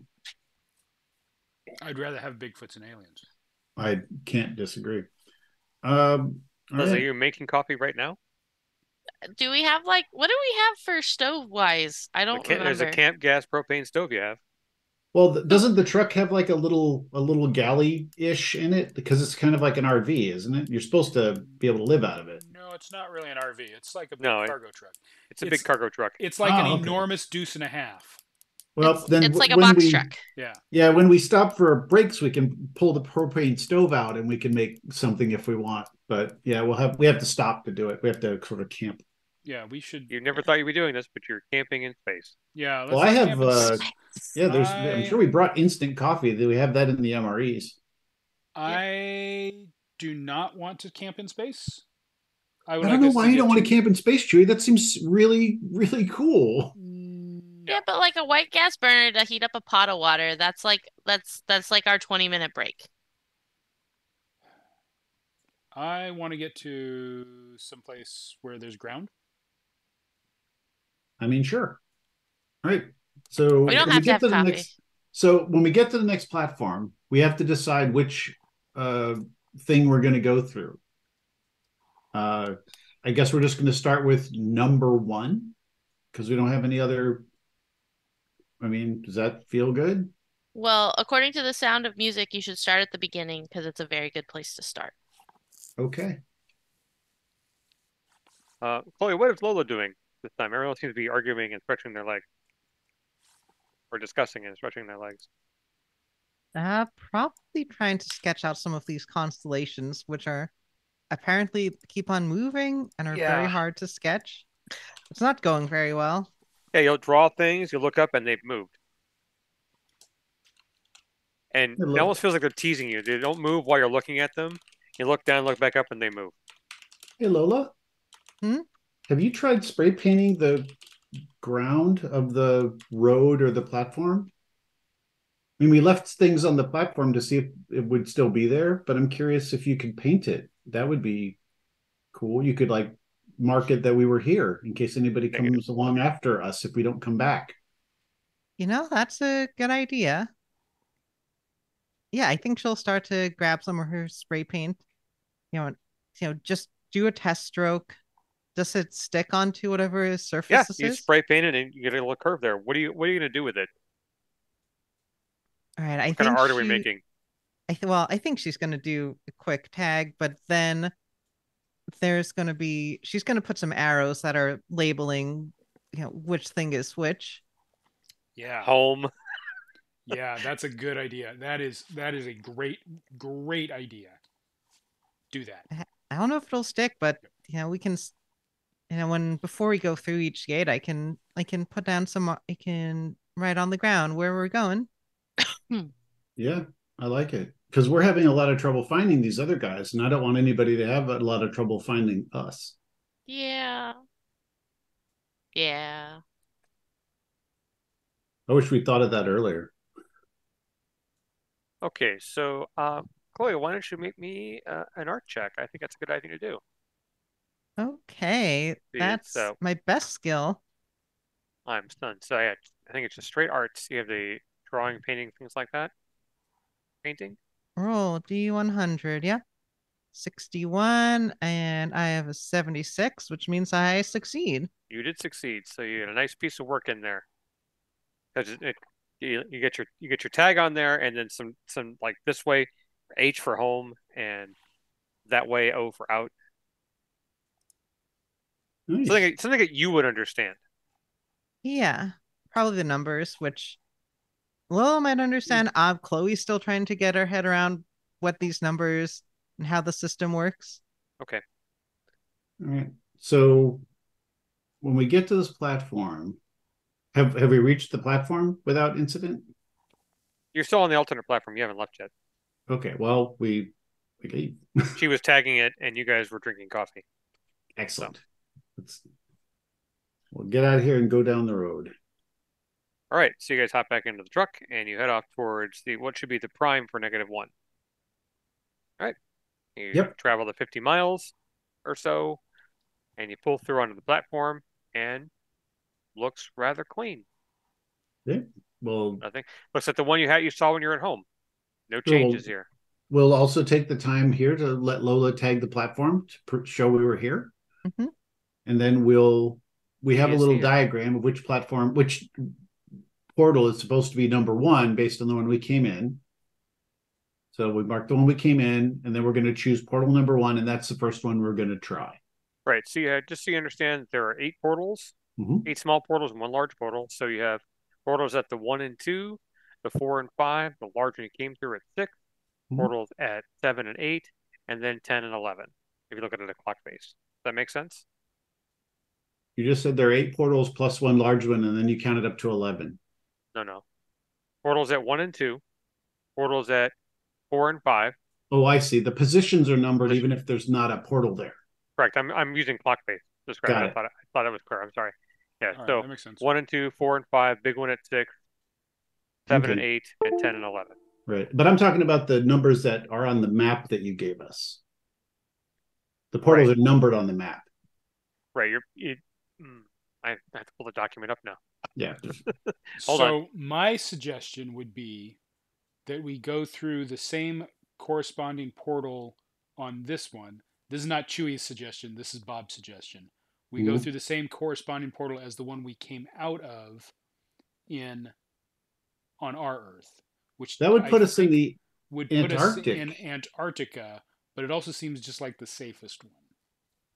maybe, And but if- like we if it know does the put us in Canadian If it does put us in. Antarctica, then we at least have a good idea of where it's at. Um, and then we can Hmm. kind of correspond beyond that and figure out where we're going to go next, which is probably Canada. Or Yeah, I'm I'm willing yeah. to I'm willing to start with Canada, but uh, it seems like the going going out the same way we came in seems like a good idea to me. But No, I I think that's an idea that we would collectively come up with, and it feels safe. And we know that if we go through it, we can immediately turn around and come back. Yeah. But I would, but uh, Sadie would call out. I think we should definitely have one person go through and see Alright. what's there before we drive the truck through. sounds fair. I mean, maybe there's not room for the truck, right? Sounds fair. And then turn around and come back and report. Did we bring gas So- masks? Yeah, we haven't we have environment suits, but we know. Correct me if I'm wrong, Mike, but we know that when you go through a portal, there's like a bubble of safety Oh, on the other side. Yeah, what what um, Simon pointed out to everyone guys in the basic training was that um, they know that there is when you enter a world through a portal, not the not the place out where you guys are currently, but when you enter a world through a portal, there is some kind of bubble that allows breathable atmosphere for the people walking through it, but it only goes out to about maybe five feet beyond the actual portal and the platform. So you have to be really careful. But yeah, so if you end up underwater, there's a place underwater for you Okay, to so it's handle. All right. theoretically, unless it's broken, which we know they can be broken, it's pretty safe to walk through and then check it and come back. Yeah, just to reference the broken piece, there is one the one portal on Earth uh, in Libya that um, no one can use because people walk through it, they catch fire. So they assume that's uh, broken and not touching How do it. we how do we know when they're broken?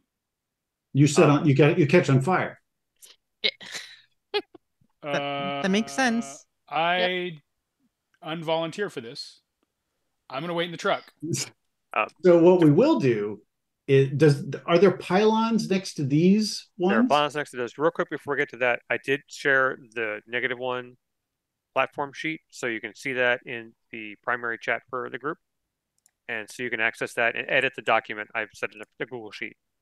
So Uh, you so- guys, you guys have added access to that. Okay, so which was the what number was Earth on the Prime platform, or where? Uh, you- Oh, the the base where you came through. Mhm. Hang on one second. Hatsune Station is number one. Let's make it easier. I, I put it number one. Oh, great. Yeah, so we should go to number one on the alternate platform. All right. Well, uh, I I'm going to say we should take turns being the first through to check it out. And so since uh, Cassie went first on the when we came from the base, I'll go first this time, and uh, I'll check it out and then come right back. So, All right. If you're end up on fire, I'll get an I'll get a fire extinguisher. I'll get a fire idea. extinguisher from the truck, and I'll wait. Oh. yeah, that is surprisingly a smart idea. I'm super in favor of it. Okay. Uh, you asked about the pylons. I'm sorry, right? Oh yeah, Yeah, I was going to look at the pylon look pylon like? to see if it looks normal, if it looks like the other ones we've seen, or if it has some kind of flashing light that looks different than anything we've seen before and indicates maybe danger. So how it works out in the triangle, you have you know it's triangle, little piece, little it's it's multiple interlocking triangles. So take one Mhm. big triangle and put a bunch put uh, nine triangles inside of that, which you can do. Um, the position number one at the top is uh, obviously depression for a crystal, and they know that the light below it shows that it's on. And every portals you've walked through so far have that designation that they're on. Okay. Okay. The portal is on. Let's see, and that's all you would know what they would be. No one actually knows. They, they haven't experimented with them to know exactly what they do. That's true, but we do know what the ones look like on Earth uh, for each portal, and so if this one looks like one of the ones on on Earth that we know is safe, that would be a message. So is that true? They're looking at the position position number one for the uh, for this platform. Yeah. Yeah, it looks like it looks. It's the number two light is is on and steady. No, the lights are flashing Great. or lit up. Okay. Uh, I'll be right back. She Good said luck. dramatically, and I reach out and I touch it. Okay. You reach out and you touch it, and it pulls you through, and you're on a ro- you you're you're on a rocky outcropping, and you can see how uh, it's it's obviously daylight. There's forest surrounding you with pine trees. You can smell them. It, oh, smell them is so strong. You've been in forest before, so you used to have this. It's just it feels old where you're at. This forest feels old. Um, cloudy sky, daylight, which is kind of a shock because you spent the past couple hours in twilight Mhm. um, you look back and you can see the outline where the uh, platform should be, but it looks like it's worked into the stone you're standing on. So the metal kind of shows here or there, and the ramp leads down into the forest floor, forest flo- forest floor, forest floor that's covered in pine needles, and it just smells old here, but it smells calm. You hear Yeah. birds chirping, uh, you hear squirrels who seem to be angry that you're here because Mhm. squirrels are always angry when people are around. Does it look like there is sufficient room in this forest to drive the truck that we brought with us, or is it too dense? You could drive a truck through the portal, but uh, how you turn around and get it back out would probably be a pain in the ass. We could we would theoretically be able to back it up through the portal. Yeah, it would be a challenge going back uphill on a on a bumpy stone outcropping, but you could do it. I mean, Chewie, Chewie says he could do it. Okay. Well, I will we can do it. once I have a certain, a, a, I, I will listen for a minute. I don't hear any weird sounds, just forest Nope. sounds. Everything looks good. I'll Walking- turn around walking- and I'll touch the the portal again to go back through. Before you do that, do you walk down the ramp and actually into the forest area, or no? Um, I'm not going to walk further than the bubble of safety. Okay. Uh, you smell, like I said, you smell pine forest. It feels clear. The air is super clean. You've been in city life and go out and live in the country. It's like, whoa, too too nice here. Kind of kind of clear. I grew up in Los Angeles. And so pollution is leaving your lungs. It feels weird. All right, I just want to make that make sure clear before you went back through. It seems fine. And I'll come back. Okay. All right, I'm primed with the with the the fire extinguisher. I'm good. Not on fire. Flop. All right. And it makes Um, kind of that sound. Flop. So, it's a forest. It's daylight. It seems fine. Uh, but there's probably not room to drive the truck around. We might want to take the Humvee through instead because there's a lot of trees and i don't think we could drive the truck and turn it around with all the the trees in the way All right, I'll drive the Humvee. I'll uh, I'll love to drive the Humvee. It's co- gonna be a whole lot faster than this thing is.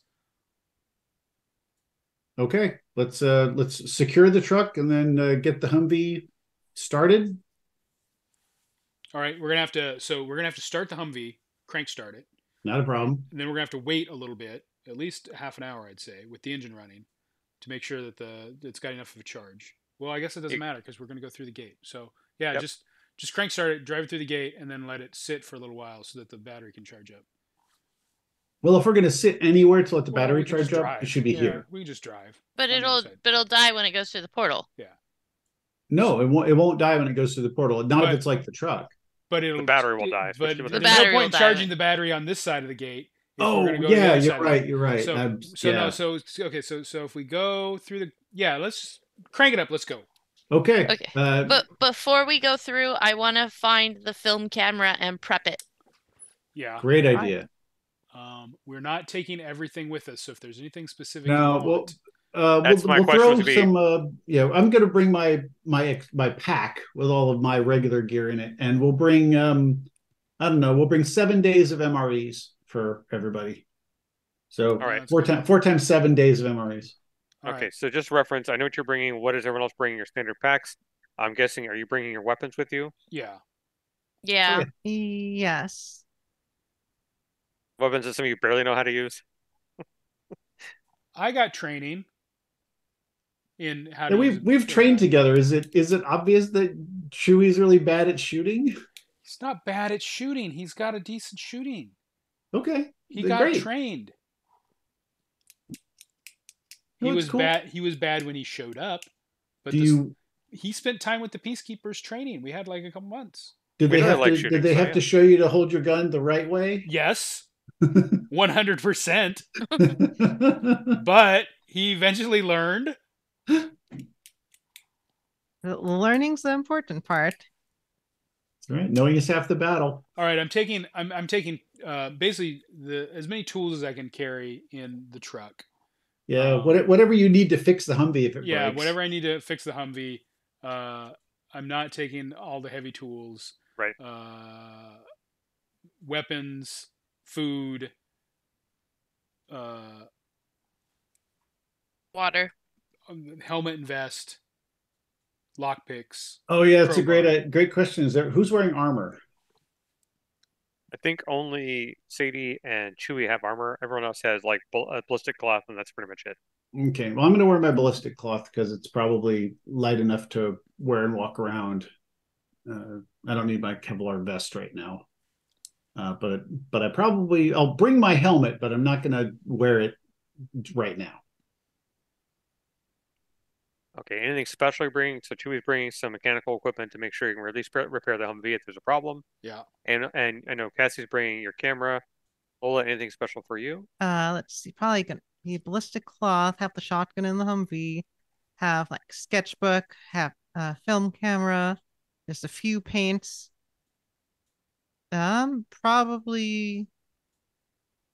Um, f- I imagine some bags because we'll probably want to take samples of things in this forest, and Okay. you know we're looking for food potentially.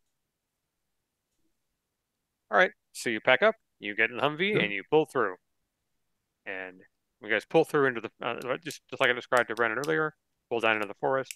Yeah, you Chewie you probably couldn't have pulled the truck in here without having to cut down trees. All right. Humvee barely fits too, but it fits enough. I did not include a chainsaw in my requests. There is there is a chainsaw in the truck. Oh, okay, Yeah. good. I, There I- is an electric chainsaw and there's a gas powered chainsaw. I got a sawzall, but I didn't specifically request a chainsaw. It's good to know that. Yeah, I did. it. I did. All right. I requested a chainsaw that ran on the petrol that the truck runs on, but uh, instead we got an electric chainsaw. All right. which you can charge up in about 20, 30 minutes. Um, Okay, yeah, so I mean, I thought we might want to make an ice sculpture, you know, and so we would need that. Uh, great. So, where's the sun? Like, what time of day do we think it is? Um, you're guessing it's probably close to noon. Oh, great. It's getting warmer, but It feels like it's could be probably early May based on the temperature, but you're not quite sure. You're not really sure you're at. It's cloudy skies. It's kind of a nice feel. It's not too hot, but it's, it's getting warmer. Mike, I have a question for you. Yeah. This feels like the kind of thing we should have thought of before, but I'm going to ask you now. Do we have some reliable way to find our way back to the location of the gate? Like, do we have a transmitter we can drop here next to it or an inertial tracker in the Humvee that will keep track of which direction we went and how far? Nope. You didn't bring anything like that. Everyone remember where we parked. I'll I'll I'll try and find some landmarks to draw. Well, if we're driving over dirt, we're gonna leave tracks. Yeah, let's and let's specifically try to leave. In fact, you know what you should do, Lola? You should tag some trees as Yep. you go along Yep. Yep. Yep. so that we should can do follow that. the trail back here. Multi-dimensional. I'm so graffiti glad you artists. brought Yeah. spray paint. Who knew that that would be the most valuable thing that we brought on this trip? Apparently, although, do we want? Do we actually want to go too far out right now? Maybe we should just you know, set up camp around here, like be here for a day to see you know, what the day-night cycle's like. She's got a good point. Like we're actually here on a search mission, right? Like we should be able to identify. Honestly, we should be able to identify pretty quickly if how long how long's the other team been gone? Um, they haven't, Months. you haven't, they haven't been hard back at hard back in six months. Oh Yeah, well, long six, time. six months is enough time to lose Sure. lose a No, but I. I like your idea. I think we should sort of set up a base camp here and, and walk around 1st Mhm. That's a that's great. Fair enough. Good Yeah. idea. yeah, And like our job isn't just to find the other team. We also need to find, you know, things Anything. to keep our planet from burning alive Mhm. and people from starving to death. Yeah. Plus, if we walk around really here, we berries. might find something that indicates whether they came this way. So yeah. So let let's make camp here. All right, so you make a camp here at the at the portal base. Yeah, we'll make a camp here. Oh, can we see the portal here, or is it one of those invisible portals? No, it's an it's just like I said, it's a standard portal. You can it's I guess it's kind of melded with the rock apparently, but Okay, you can see the ring outline. and You can see the actual portal. great. Not that anyone else can see it, but you guys. But yeah, it's Sure. there. I We'll set, take a we'll set up a picture of- here. Oh, I Go take a ahead. picture of the portal. Which you know won't show up on film, but it's cool. This is the place the portal. You should take a, a picture of us, like here. I take a picture. Okay, everybody Yeah. stand by the Humvee and Here, smile. here we are on an alien Say planet, cheese. or alien Earth, something. I don't even know what to call it. Alt one. All right. Earth alt one. prime negative one technically. Ugh. Prime negative one. Okay, Leslie, if you're taking photographs, I want you to track all those photographs because you're gonna be surprised what you have, what you'll take pictures of. There's You also have to refer I to I plan so so after she takes out her write and rain because those are the best notebooks, and she writes down film roll one, and then like the floor the whatever prime negative one, uh, shot of portal, group shot of Humvee. She's gonna kind of keep a list of Right. what's I'm, going I'm on. just saying. I'm just saying. You probably want you as a player might want to take those notes too, just for So- reference later. So down we're the road. not in alternate one, we're in prime negative one. Prime Yeah. negative one, yes. If you look Yeah. at the sheet I give you guys access to, um, do- do- do- I don't have it open. Where'd it go? There it is. so Should be platform negative zero zero one. hmm So, that's a zero zero platform. What is wrong with me? Did I not? There it is. On prime. So, actually, that's incorrect.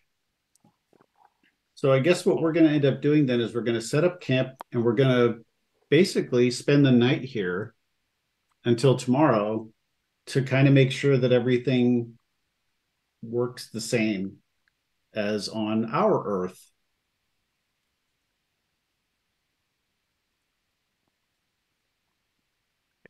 Yeah, that makes sense. Make sure that night isn't, you know, there aren't snowstorms or giant Godzilla monsters that roam around. hmm And uh, the I, I assume from the fact that you didn't mention it, Mike, that the temperature and weather is basically just kind of regular. Like I said, yeah, it, it's Comfortable probably it's probably May on Earth before you're telling. It's not rainy. It's not uh, it's not cold. It's kind of kind of nice out in this forest. It's nice temperatures, but it is warming up. It's the middle of the day. You you know what it isn't here, guys? It isn't the Antarctic. Yeah, yeah. It's also not a base. True. It's a good point. I mean, maybe it is. Maybe the Antarctic is nice and warm Could be. here. Yeah. Hard to know. Hey, at night when the stars come out, you're an astronaut. Could you tell us where we are on the Earth from looking at the stars? I can try. Should have put a star chart on my personal packing list. Uh, We can at least identify from the constellations whether we're like in the northern or southern hemisphere, that kind of thing. yeah. If we're on Earth. Yes, astronaut, not astronomer. astronomer. Well, yes, but there's a lot of crossover. There's space and there's spacey. But uh, I see you guys are making camp here, base camp here. Yep. Okay, so you're building, you're putting tents out. What are you doing We're, exactly? we're we're creating the infrastructure with which to make coffee. Tents, camp stove. Are you building a fire? There's there's I sticks s- nearby. I don't. I nearby. would think it might be better to build fires when we can to conserve fuel. yeah, but uh, do we need a fire right now? Gonna make Oh, coffee. oh, you're talking about cooking over a fire. Yeah. Oh, I mean, sure, why Um, not? Let's let's not assume everything's super dangerous. Let's just build a fire. we we can camp. This does seem like a normal forest. Yeah, Whoa, we'll whoa. gather some wood. I have a hatchet.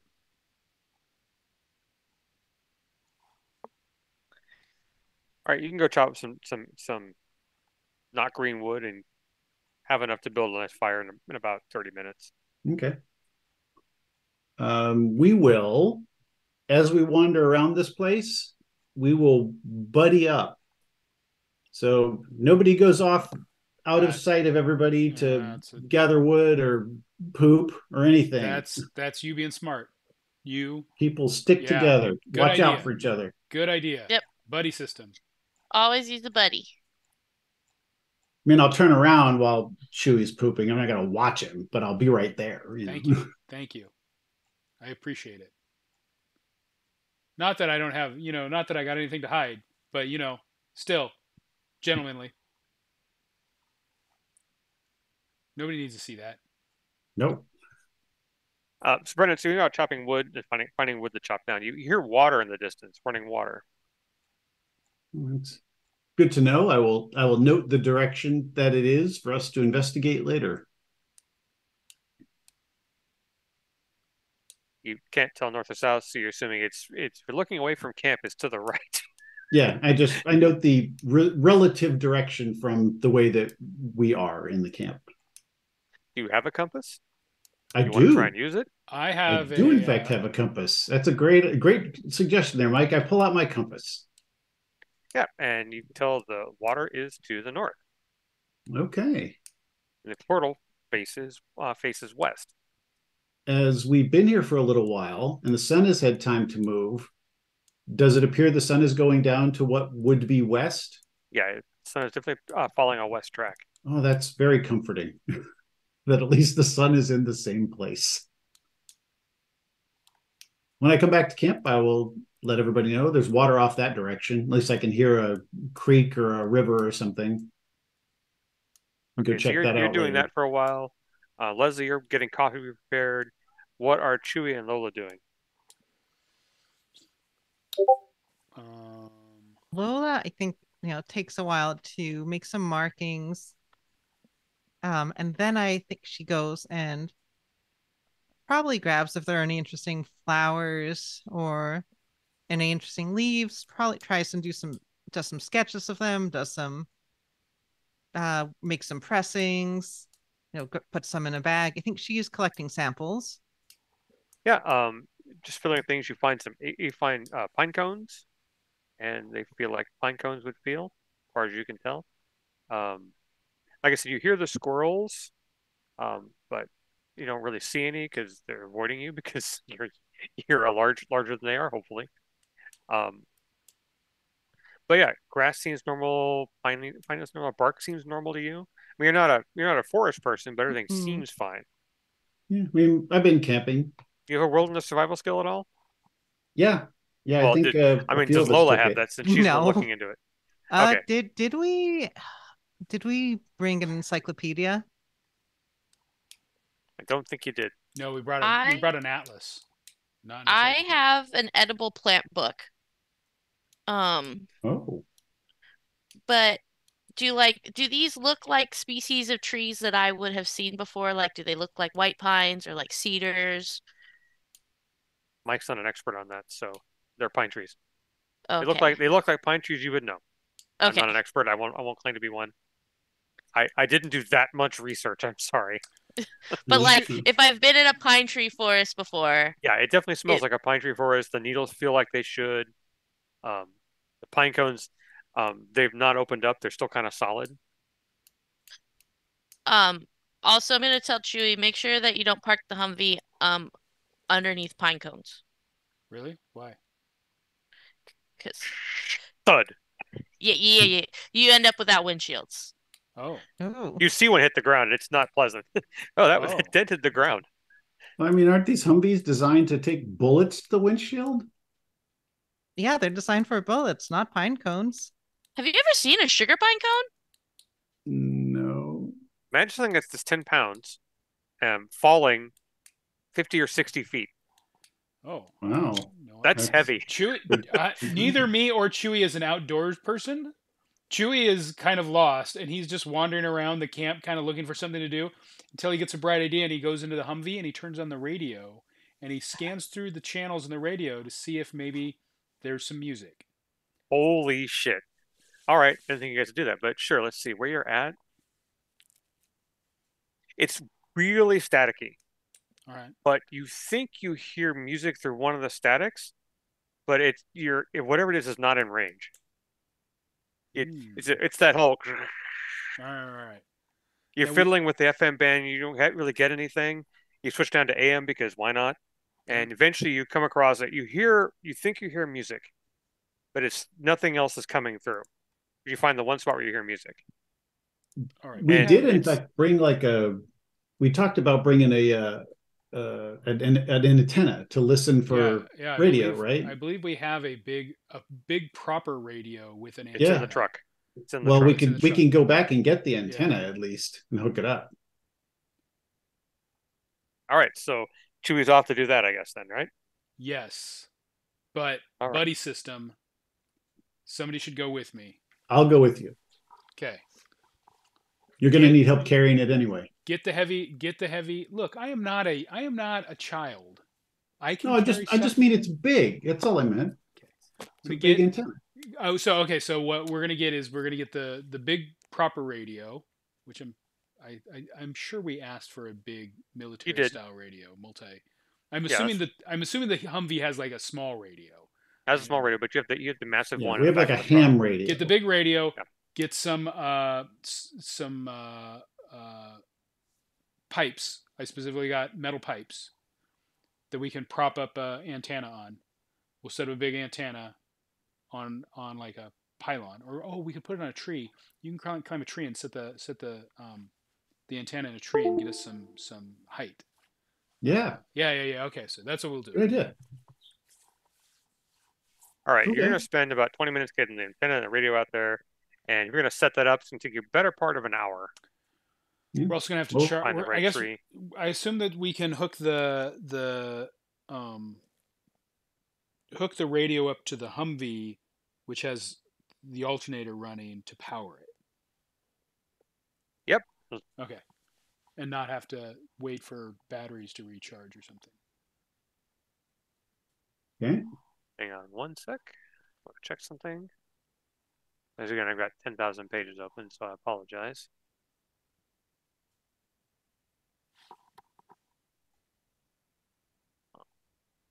Must have closed that. All right, so we're gonna need some some skill rolls here. Let me just get the uh, skill chart open. I think I closed it like an idiot. Yep, I think I did.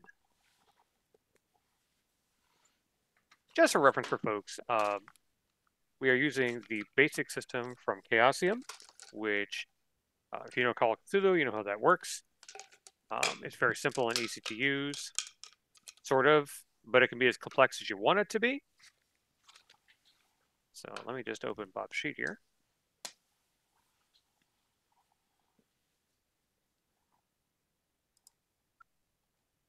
All right.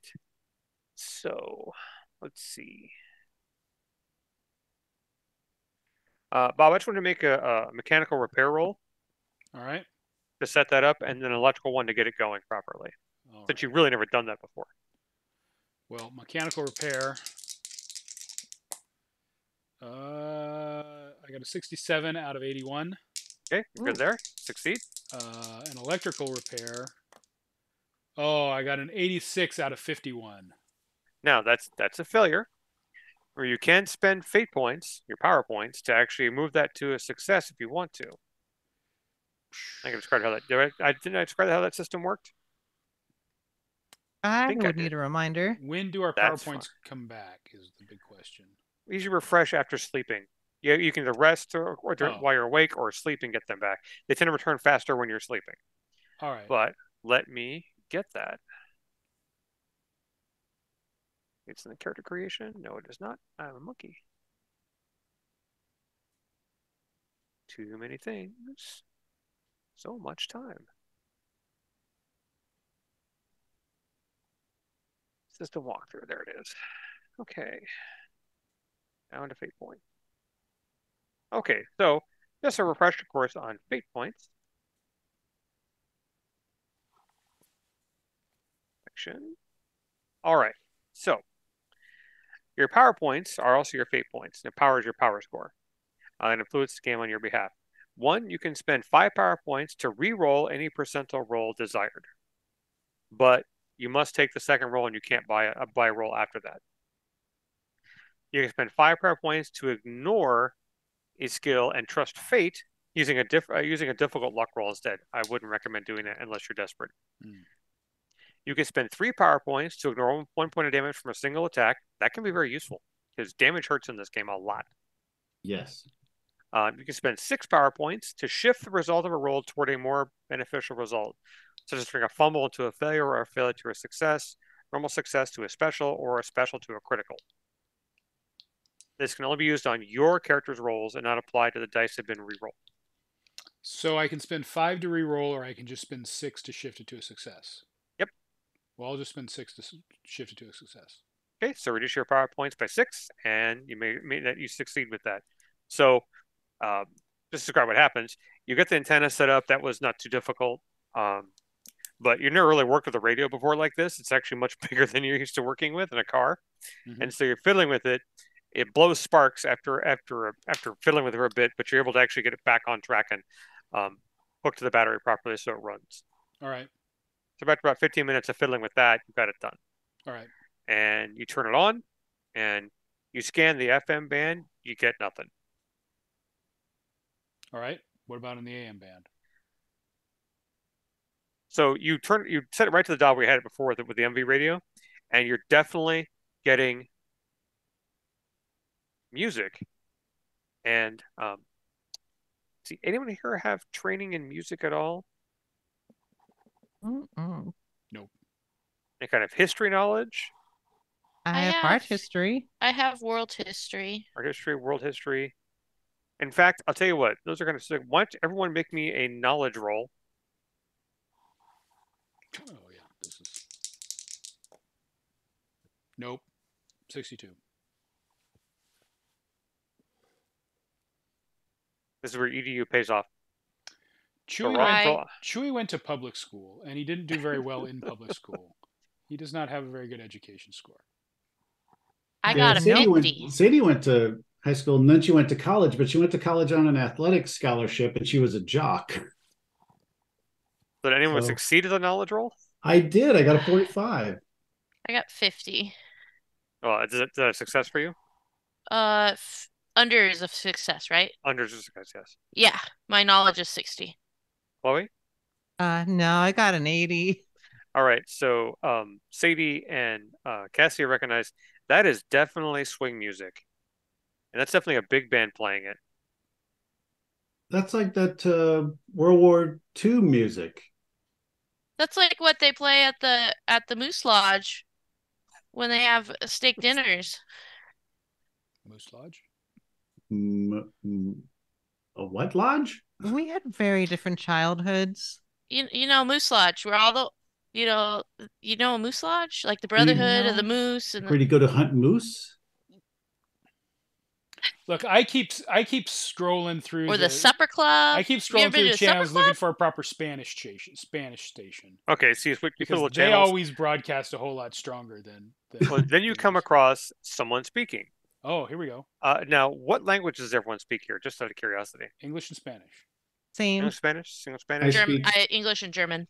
English, and German. I speak English. Uh, I speak German and Spanish both fluently. In addition to English, I speak French. Uh, I speak French and English and Spanish fluently. Sorry, I speak German well. I speak Italian and Russian passably. Basic. Okay, then those of you who speak German, hear German, and the news. It's obviously newscaster saying you get something quickly about. I'm not gonna make your rolls on this. You just, you just, you know, you'll, you'll pick up the words really quick.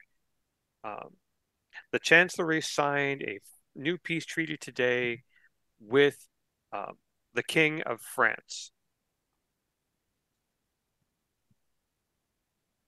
And while you wrap your head around that, you kind of miss the other other words. The King of France? When's the last time France had a king? You have history. The You whole you wanna roll choppy that choppy thing? Yeah. Yeah, a king was 1779. Uh? Chew- there's no way Chewy knows that. I mean, I feel like Yeah. art history probably no pick when they stopped drawing pictures. I got a five out of 34. That's critical success. You know exactly when it was a lot. It was it. The French Revolution happened in the late late 17, early 1800s. So they haven't had a king since then, for, uh, on our earth, as far as you know. No, They didn't have So- radios back then.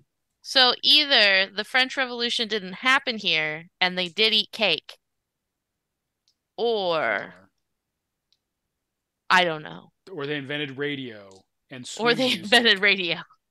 in the 18th century. Yes. And Also, swing music.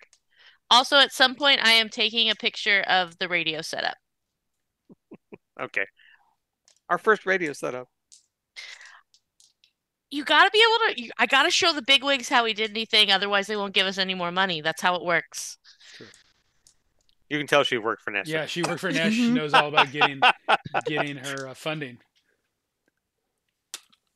Um, I'm leaning towards this place didn't have a French Revolution. I don't know what that means for the rest of the world. I'm sure Marie Antoinette's a lot happier now, though. People probably eat a lot more baguettes. Yeah. So I don't know a lot about radios. I, I, I admittedly I know more than Chewy does, uh, but AM radio can travel pretty far. Yeah. Under the right Yeah. conditions, we could be anywhere in the northern hemisphere potentially. Well, once it gets to be night, we'll have a better idea. I mean, Well, can we see the stars from here, Mike? Or is it going to be too hard to see the stars from these trees? It depends if the clouds go away or not. Oh, stupid clouds. Um, if you can just scan the dial more, you get more German voices Mhm. and wide varieties of music, uh, like you heard before, the swing music. There's even some oompa music you come across eventually. Mm-hmm. Maybe we're in That's Germany. what they play at the state fair, and all the old ladies do the polka. What are you talking about? You've never been to Minnesota. No, No. I've been Why to would I go to Germany. I know Minnesota? what you're talking about. They're not I- like things are mysterious. So you can go to Paul Bunyan Land, obviously. She has a good point. Sadie says the problem with Right. this entire situation is that my mother is German, and she's never going to let me live it down that my German isn't that good. You should learn German, Sadie. It'll be good for you. no, mom, I don't want to learn German. Here we are. And, then, and I'm, I'm okay with German, but like, I just wanted to learn French more. So, Uh, I take it, I really only know German because that's what the old people talked. well, Um, my mother's an old people, so that makes Yeah. sense. It checks out. um, okay. Uh, so we're going to spend the night here still, and we can continue to listen to the radio and see if we can pick up any more random information from news broadcasts or disc jockeys talking about things that are going on. Uh, what would be great is if we can catch anything that mentions where the radio station is, like broadcasting from what city or anything like that. Uh, so, when we have all all evening and you know through the night to listen to it. So we'll see what we can pick up. All right. Um, you continue to listen to it. Uh, eventually, the station you listen to with the news on it uh, breaks to mention the city of Essen Oh, So- in, in the GDR, the German Democratic Republic. okay. Well, that's great. so Yeah, the yeah, the We could GDR is uh, would be the uh, would would be good Germany, sort of. I mean, we're you know, Yeah. I guess we're uh, we're basically we're basically trying to figure out. I guess are we looking at East West Germany situation or unified Germany situation? I have to go further than a forest to find that out. Well, no, I, I mean from the name that they called the country, like uh, East Germany called itself the DDR, and West Germany wa- uh, had a different title. I mean, it's been a while since. The GDR, the German, German Democratic Republic. Thank you. So, uh, so which did which did they identify themselves They as? refer to if the actually with the Great German Democratic Republic is what they say, and they say it, the people in the news say it rather proudly. All right. Well, that's hopeful. I mean, they didn't say Heil Hitler. Good. yeah. Nope. None of that. So, all right. So how So- far away are would can radio stations be? AM stations can be pretty far. Yeah. I mean, depending on the train, it could be hundred miles or more. The train and the atmospheric conditions, under certain Yeah. conditions, they can be a thousand miles on AM radio. Although I don't think we would get this many channels on that far away. Yeah. well, if you if you if you have an atlas, like I think you do, you can look up where Essen is. yeah. I mean, we I, don't- I didn't bother looking it up because my We character would is familiar with Germany and would know kind of where it is. But uh, but yeah, we could look at it on the map and see generally where it is. Essen, Essen if you fiddle, when you're fiddling with the atlas, Essen is in the northwestern corner of Germany. Um, you're close to the Netherlands and Belgium. It's about three hours from Amsterdam, if I remember correctly. Three hour Yeah. drive. About that, yeah. So what we've determined is this is a modern technological place to be. So they have radios and everything that were that they speak German. So they are a lot like our our world.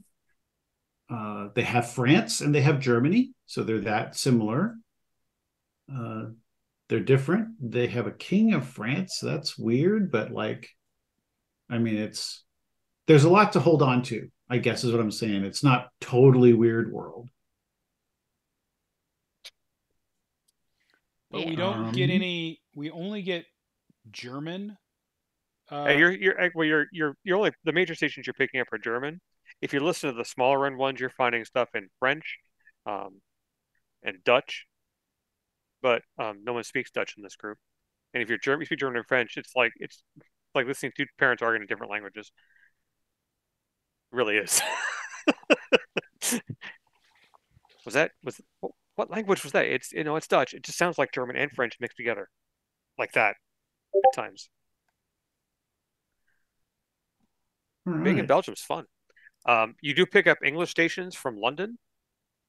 Oh, okay, okay. We do get some English. That that that was that, that was actually one of the one of the larger musical transmissions you, uh, stations you get it tends to be broadcasting at a really high power for AM, but you get music everywhere.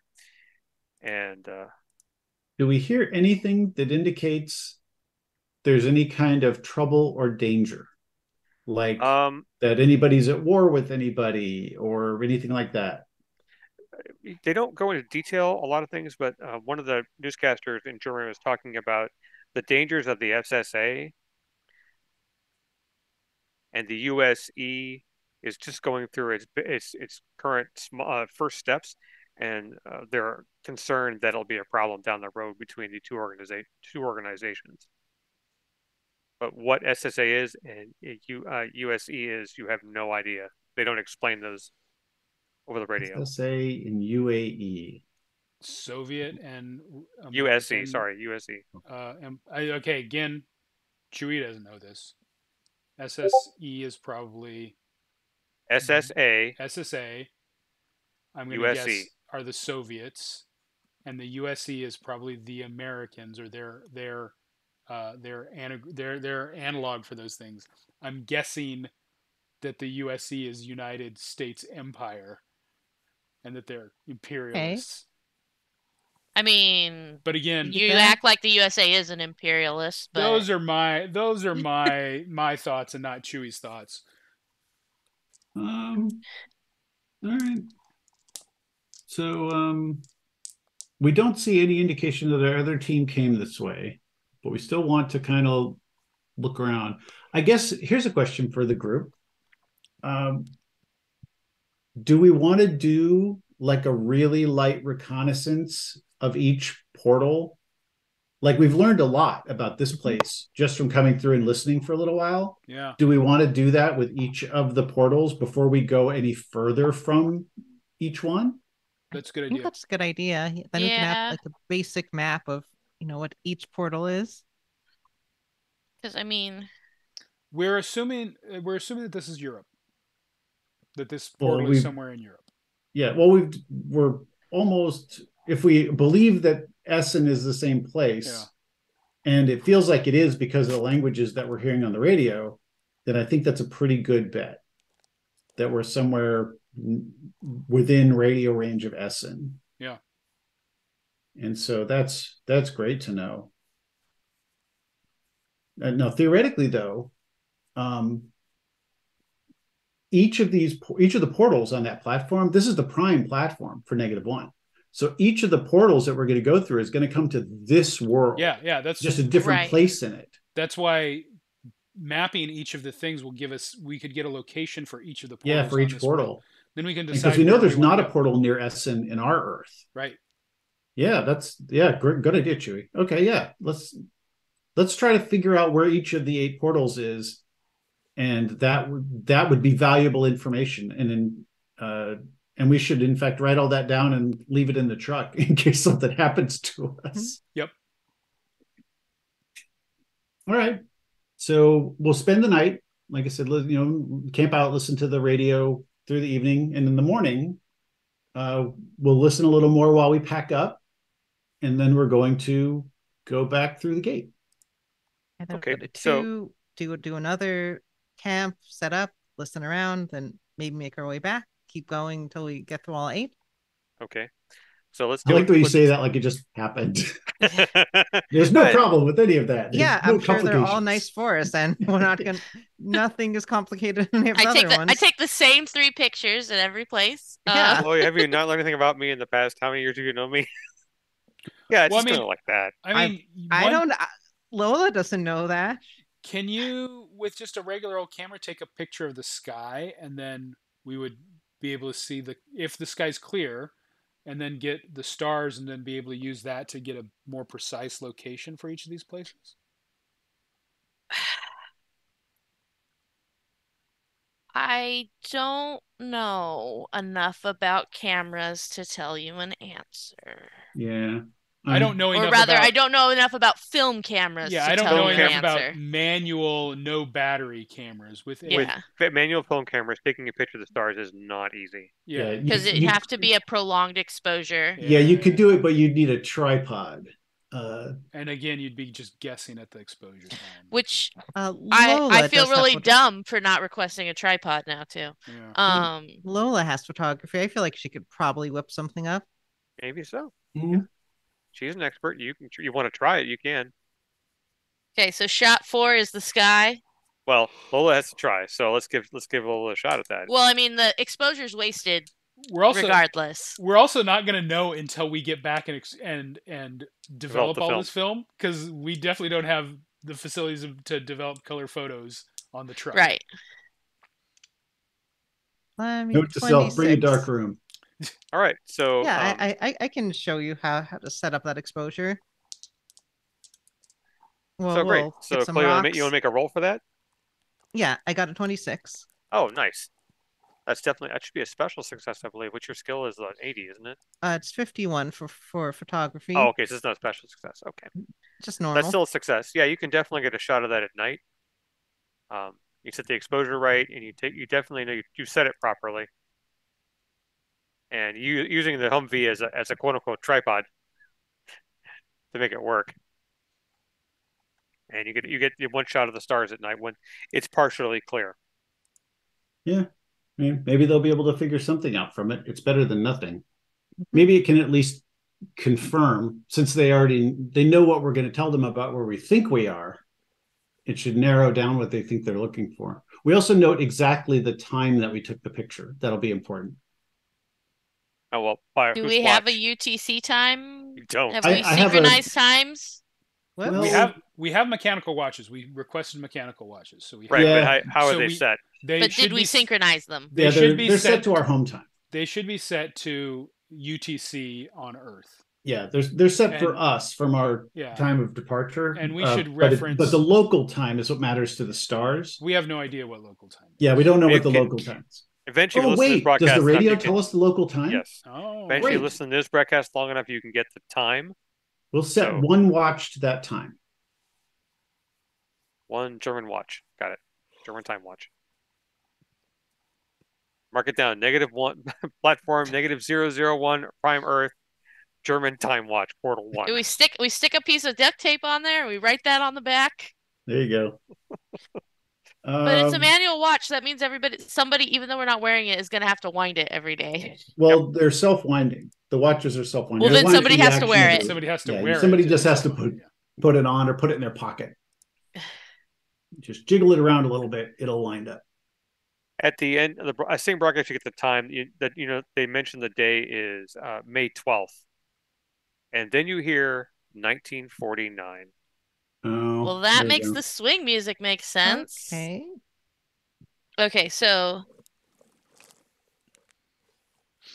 So we're, putting- we're where am I putting we're- this in my notes? We're like five years late of going to kill Hitler. Damn it! Well, I mean, we we hope Hitler's already dead. Well, we were hoping to get here early enough that we, if I have a single goal in a time dimension hopping game, it is to get to kill Hitler. We also don't know that Hitler even came to power here. Doesn't matter. Yeah, that's true. I mean, or everything else that, is you know, he was even Hitler. born. It still counts. It still counts if I kill artist Hitler.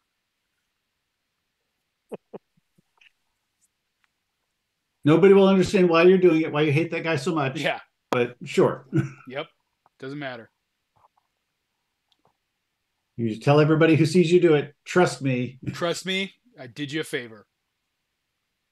We'll put it on the to-do list. Uh, Yep. To do, kill all right. Hitler. Um, great. So yeah, then uh, we have a lot of information about this place. This is terrific. And nobody got hurt. That's even better. Yeah, this job's easy. I was a little worried about the squirrels at first. That maybe we're on like deadly intelligent squirrel world. I Like uh Give me a little credit. like hu- like Hunger Games uh crazy squirrels Hunger or Games something. Squirrel World. he just kept mentioning squirrels, and I'm like, why does Mike keep talking about the squirrels? Squirrels and squirrels and squirrels and squirrels and squirrels and squirrels and squirrels. Okay, so do we have any trouble breaking camp, packing up, and getting through the gate again? Unless you want trouble. But uh, no, Nope. no problem packing all that back up the next morning. All right. So we head back through and uh You back the you back the uh, car up through the gate. Yep.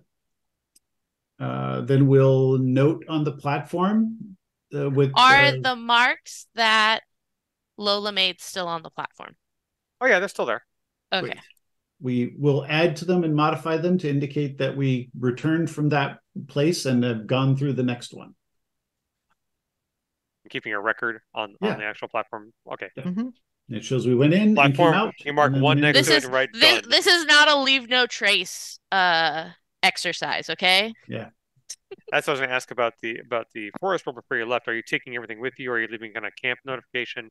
Are you packing out clean?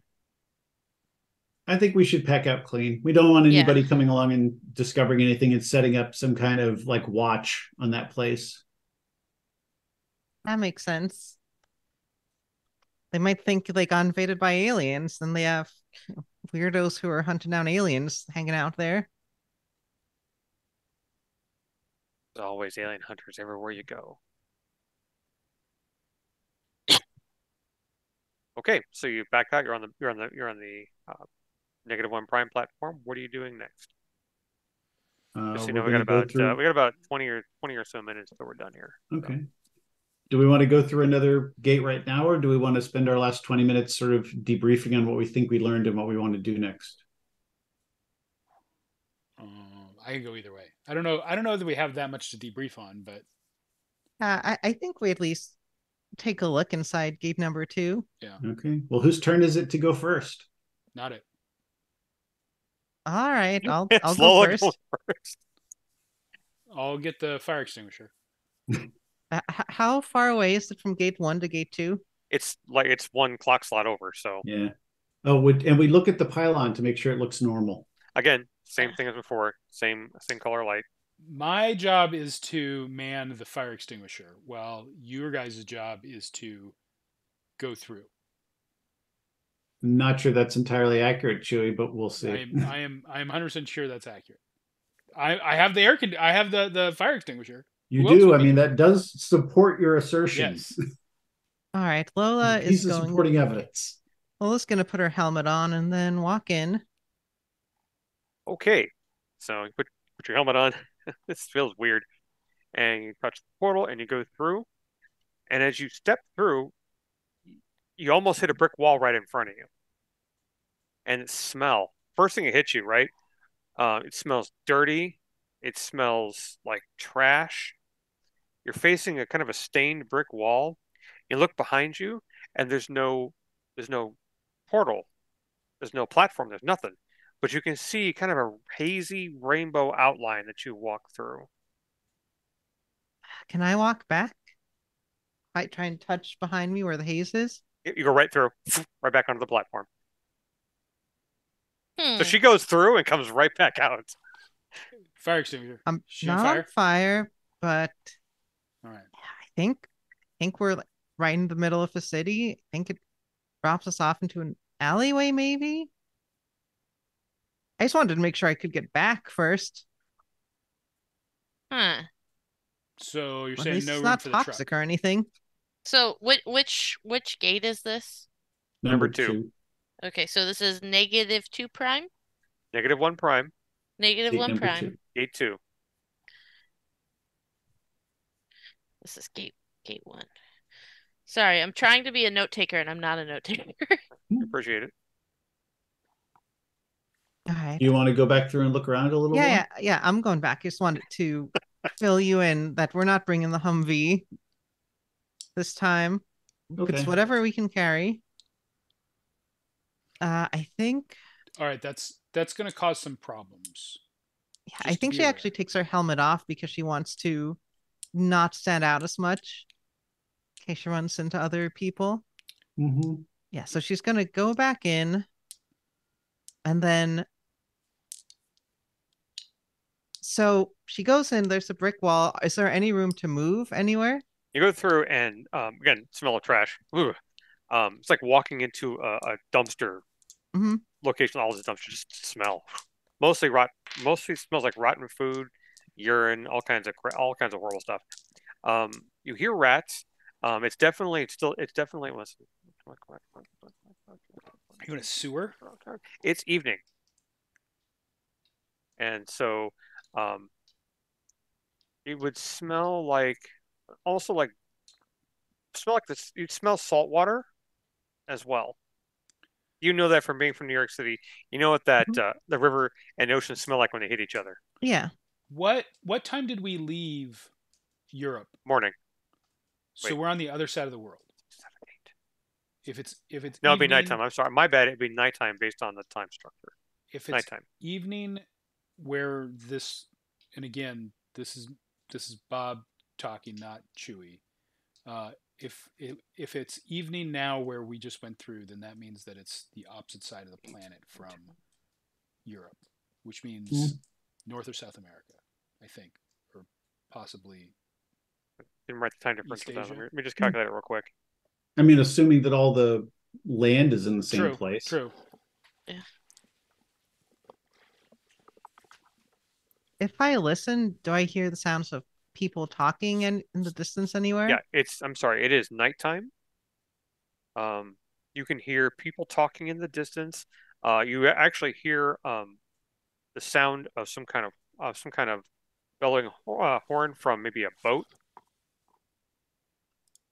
Um, as you you smell the mixture of seawater and um, river water, and you can see there are gas lights.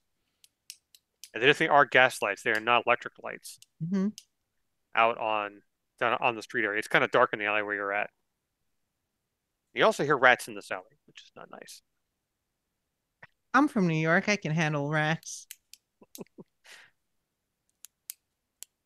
All right. Yeah. So I'll, I guess I'll walk out of this alleyway, take a look around the street. Uh, the buildings here are made of brick. They're kind of rounded. They definitely have a feel of time long before what you're used to. Um, you notice that above the alleyway is a street sign that says Sedgwick Lane. It's written in English. In front of the alley, it says Sedgwick Lane.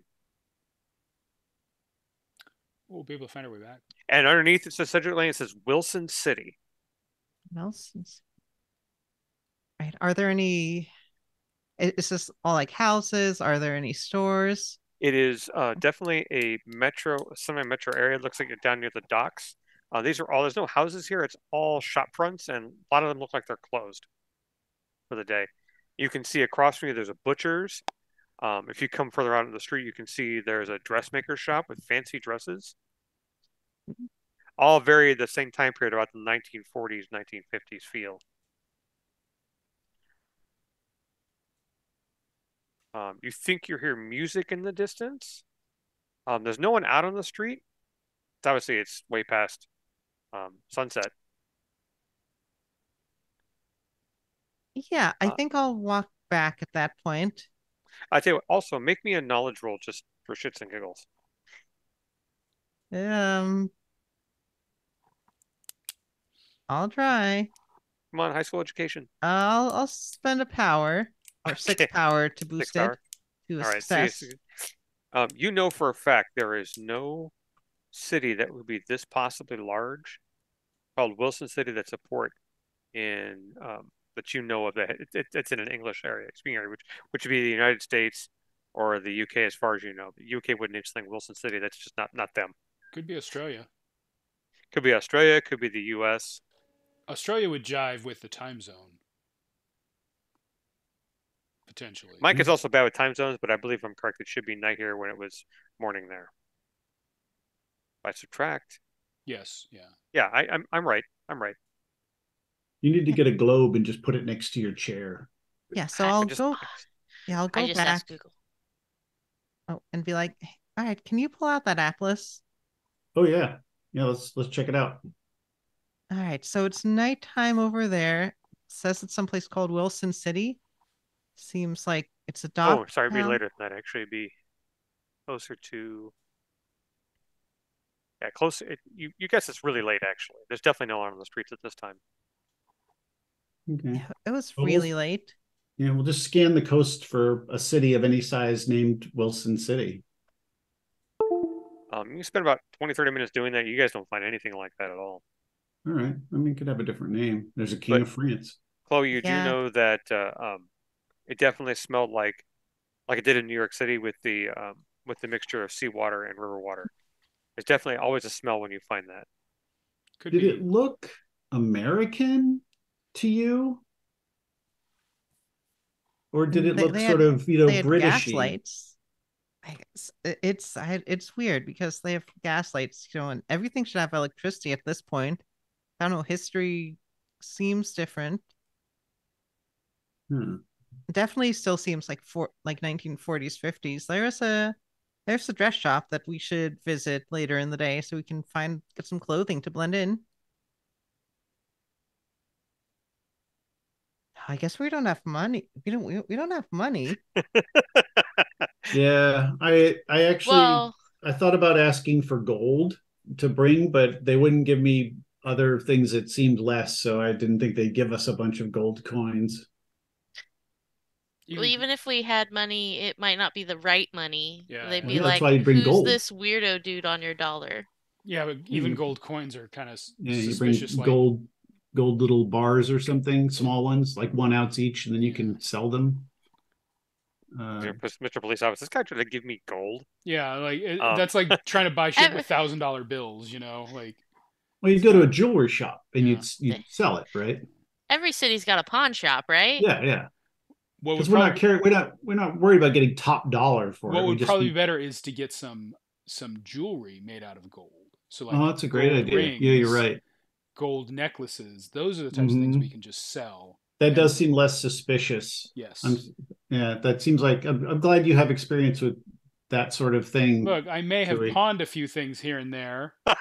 I mean, we've got these sometimes watches. Sometimes when they bring the have? cars in there's there's there's stuff in the glove compartment and uh, i don't know who the owner is anymore and so you know i just uh I, I, but they take it to the pawn shop You made a lot of those extra iPhones you found. yes perhaps So, so on that note, how many watches do we have?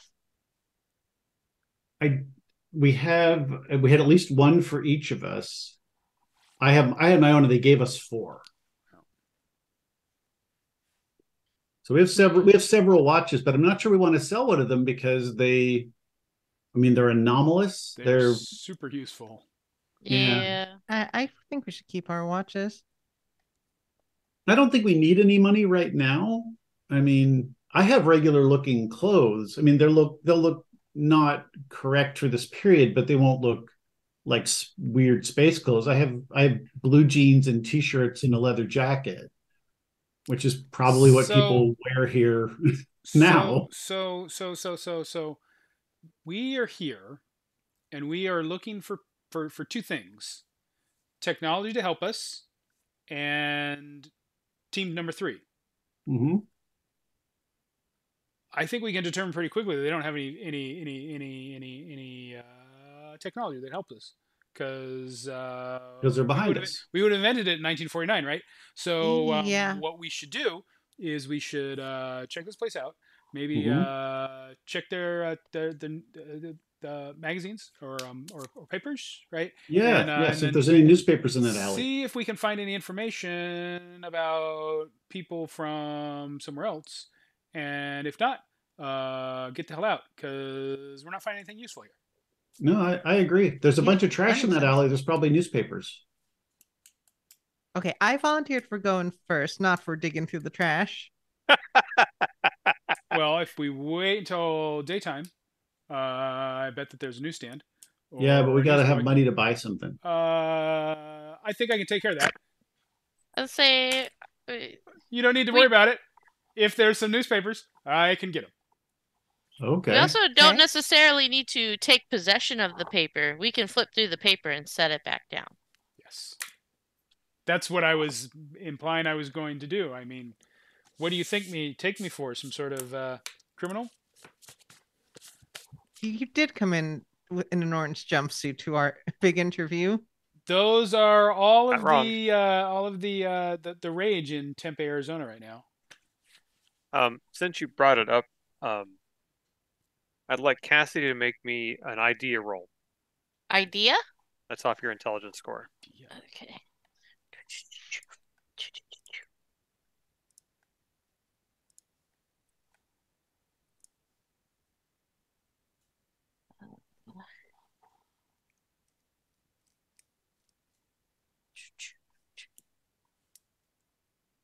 Okay, I'm You rolled not a seeing. nine. I rolled a nine, so I think So- I make it if I can find where that is on my sheet. I'm so on Aha, I your- found it. 65. Yeah, so that's definitely a special success. Um, one, if you wait till dawn and go out to get a paper, uh, even just find a paper and look through it, um, you're going to stand out like a sore thumb. Your clothing would probably likely not match, and it will draw attention because you're wearing uh, camouflage uniforms. Oh, I Camel just thought they gear. were olive drab. They still look like military uniforms. in They do. some way. But I have regular Uh, clothes too. And two, I mean, I have my PT clothes.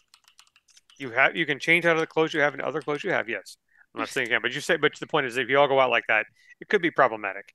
Mm. Uh, and two, there are newspapers in that alleyway. Probably the safest way to get that information right now. Yep, that that seems easy. Uh, so I'll let Cassidy di- divulge that to you guys if she wants. Yeah, um, it's pro we're we're gonna stick out like sore thumbs regardless of what we do. But like, look at all this trash. It's full of newspapers Mm-hmm. yeah, and we'll- we'll- Time we can magazines. Yeah, there's got to be enough stuff in here to at don't least eat give us the something. Legos. Question is, who's going through to get it? I'll go. All right. And I'll uh, uh I'll change clothes before I go. Okay, what are you wearing? I'm wearing uh jeans and boots and a, a black t-shirt. And uh I guess I probably don't need my leather jacket. Uh was it cold? I I mean, I'll tell you, it, it was a little chilly. rather- I, I don't think you need to change. Uh, It's so late, no one's out on the streets. Well, it's actually so? May, so it wouldn't be chilly. It's got a breeze, but it's definitely humid. Okay. Well, that's fine. I'll just uh I'll just go and I'm not going very far from the gate. So if there's any trouble, I'll just hop back through. Right?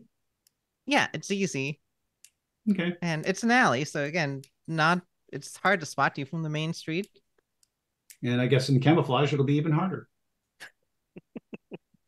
so yeah, I'll step through. All right, step and then. I'll look around to the alley and just find some newspapers or discarded magazines. Definitely trash cans right near where you're at. You can lift those up and go through them for a bit. Take the lid off. So you find a newspaper and kind of get it unraveled of what a mess it was rolled up in. And you get to the front page. And it says, as a headline, The Socialist States of America announce a new prosperity for Oh. all. You're looking at that like, oh. what Oh. the? And just then you hear, you feel a light hit you. Hey, what are you doing there? Put that down and come here. I think that's the place we're going to end it for tonight. Sure. Oh. Love it. I forgot to mention I love cliffhangers. So you guys gave me the perfect out to get a one. So there you go. And that'll that'll do it for tonight. So in a few minutes early, but uh, uh, that was a lot of fun for first session. Thank you very much. Uh, thank you all for coming and playing tonight. I really appreciate it, and I thank all our friends, uh, new friends who came to visit today. For first timers to our channel, which is fantastic to hear and see. So thank you guys for coming. I know a lot of them came from the Fringeworthy folks I met on Facebook, and so I really appreciate that. They're all awesome for doing so, and not calling me on the weird shit I put into the into the game they love so much. um. So uh, again, I am Mike Leader. I am your game master for Fringeworthy, and uh, let's go back to rotating to the cast. Um, tell us a bit about your tell us your name, a bit about yourself, and what projects you're working on. If you have any, and how we, people can find you on social media if they want to know more about you. We'll start with Chloe, like we did last time. Same run through as before. All right. I am Chloe. You can find me on Instagram, Discord, co-host any of those at Chloe Serena. I have a Twitch channel at Chloe underscore Serena. Uh, I don't have any particular projects to pump up this time. I'm just excited to be playing this and find out what happens next. All right, Bob. Oh yeah, I'm Bob. Uh, I don't do social media, and I don't have any projects right, working right now. So good luck finding me. You do have Anything, anything fun just didn't about yourself you want to talk about? Anything fun about yourselves you want to share? Well, uh, no, Not that I can think of. Okay, Bob's not fun. Sorry, gang. Yeah. Brennan. Uh, hi, I'm I'm Brennan. Uh, I'm a, uh, a, game designer and writer. I've been uh, in the game industry for like 30 years. I used to write tabletop games back in the day. I worked on Champions and Traveller and a bunch of other stuff like that. I wrote it. We talked about earlier writing a book for the Air Force. I wrote that for the Stargate RPG a while ago. Uh, I'm a digital game designer these days. I work on video games. I've worked on a lot of different stuff: uh, Crimson Skies, Halo, uh, Farmville, things like that. And I'm currently working at a company called Hidden Path on a, a Dungeons and Dragons game that will be a AAA third-person open world RPG title that will be out in a few years. so keep an eye out for that down the road. Awesome, awesome. Leslie, you want to share with anyone in the group? Um, well, you can find me. I am on social media everywhere, but not particularly active. Um, but at TuPerroEsFeo. Um, yes, your dog is ugly. Um, if you want to specifically look at my crafting, um, it is I'm on Instagram as Ugly Dog Crafting or Ugly Dog Crafts. I forget now. Um, I do kind of share what I'm making, although most of what I make is personal. I would would accept commissions if you bribe me enough. Uh, but uh, not too much going on here except that my cat is trying to eat every single freaking thing on the kitchen table. Um, but yeah.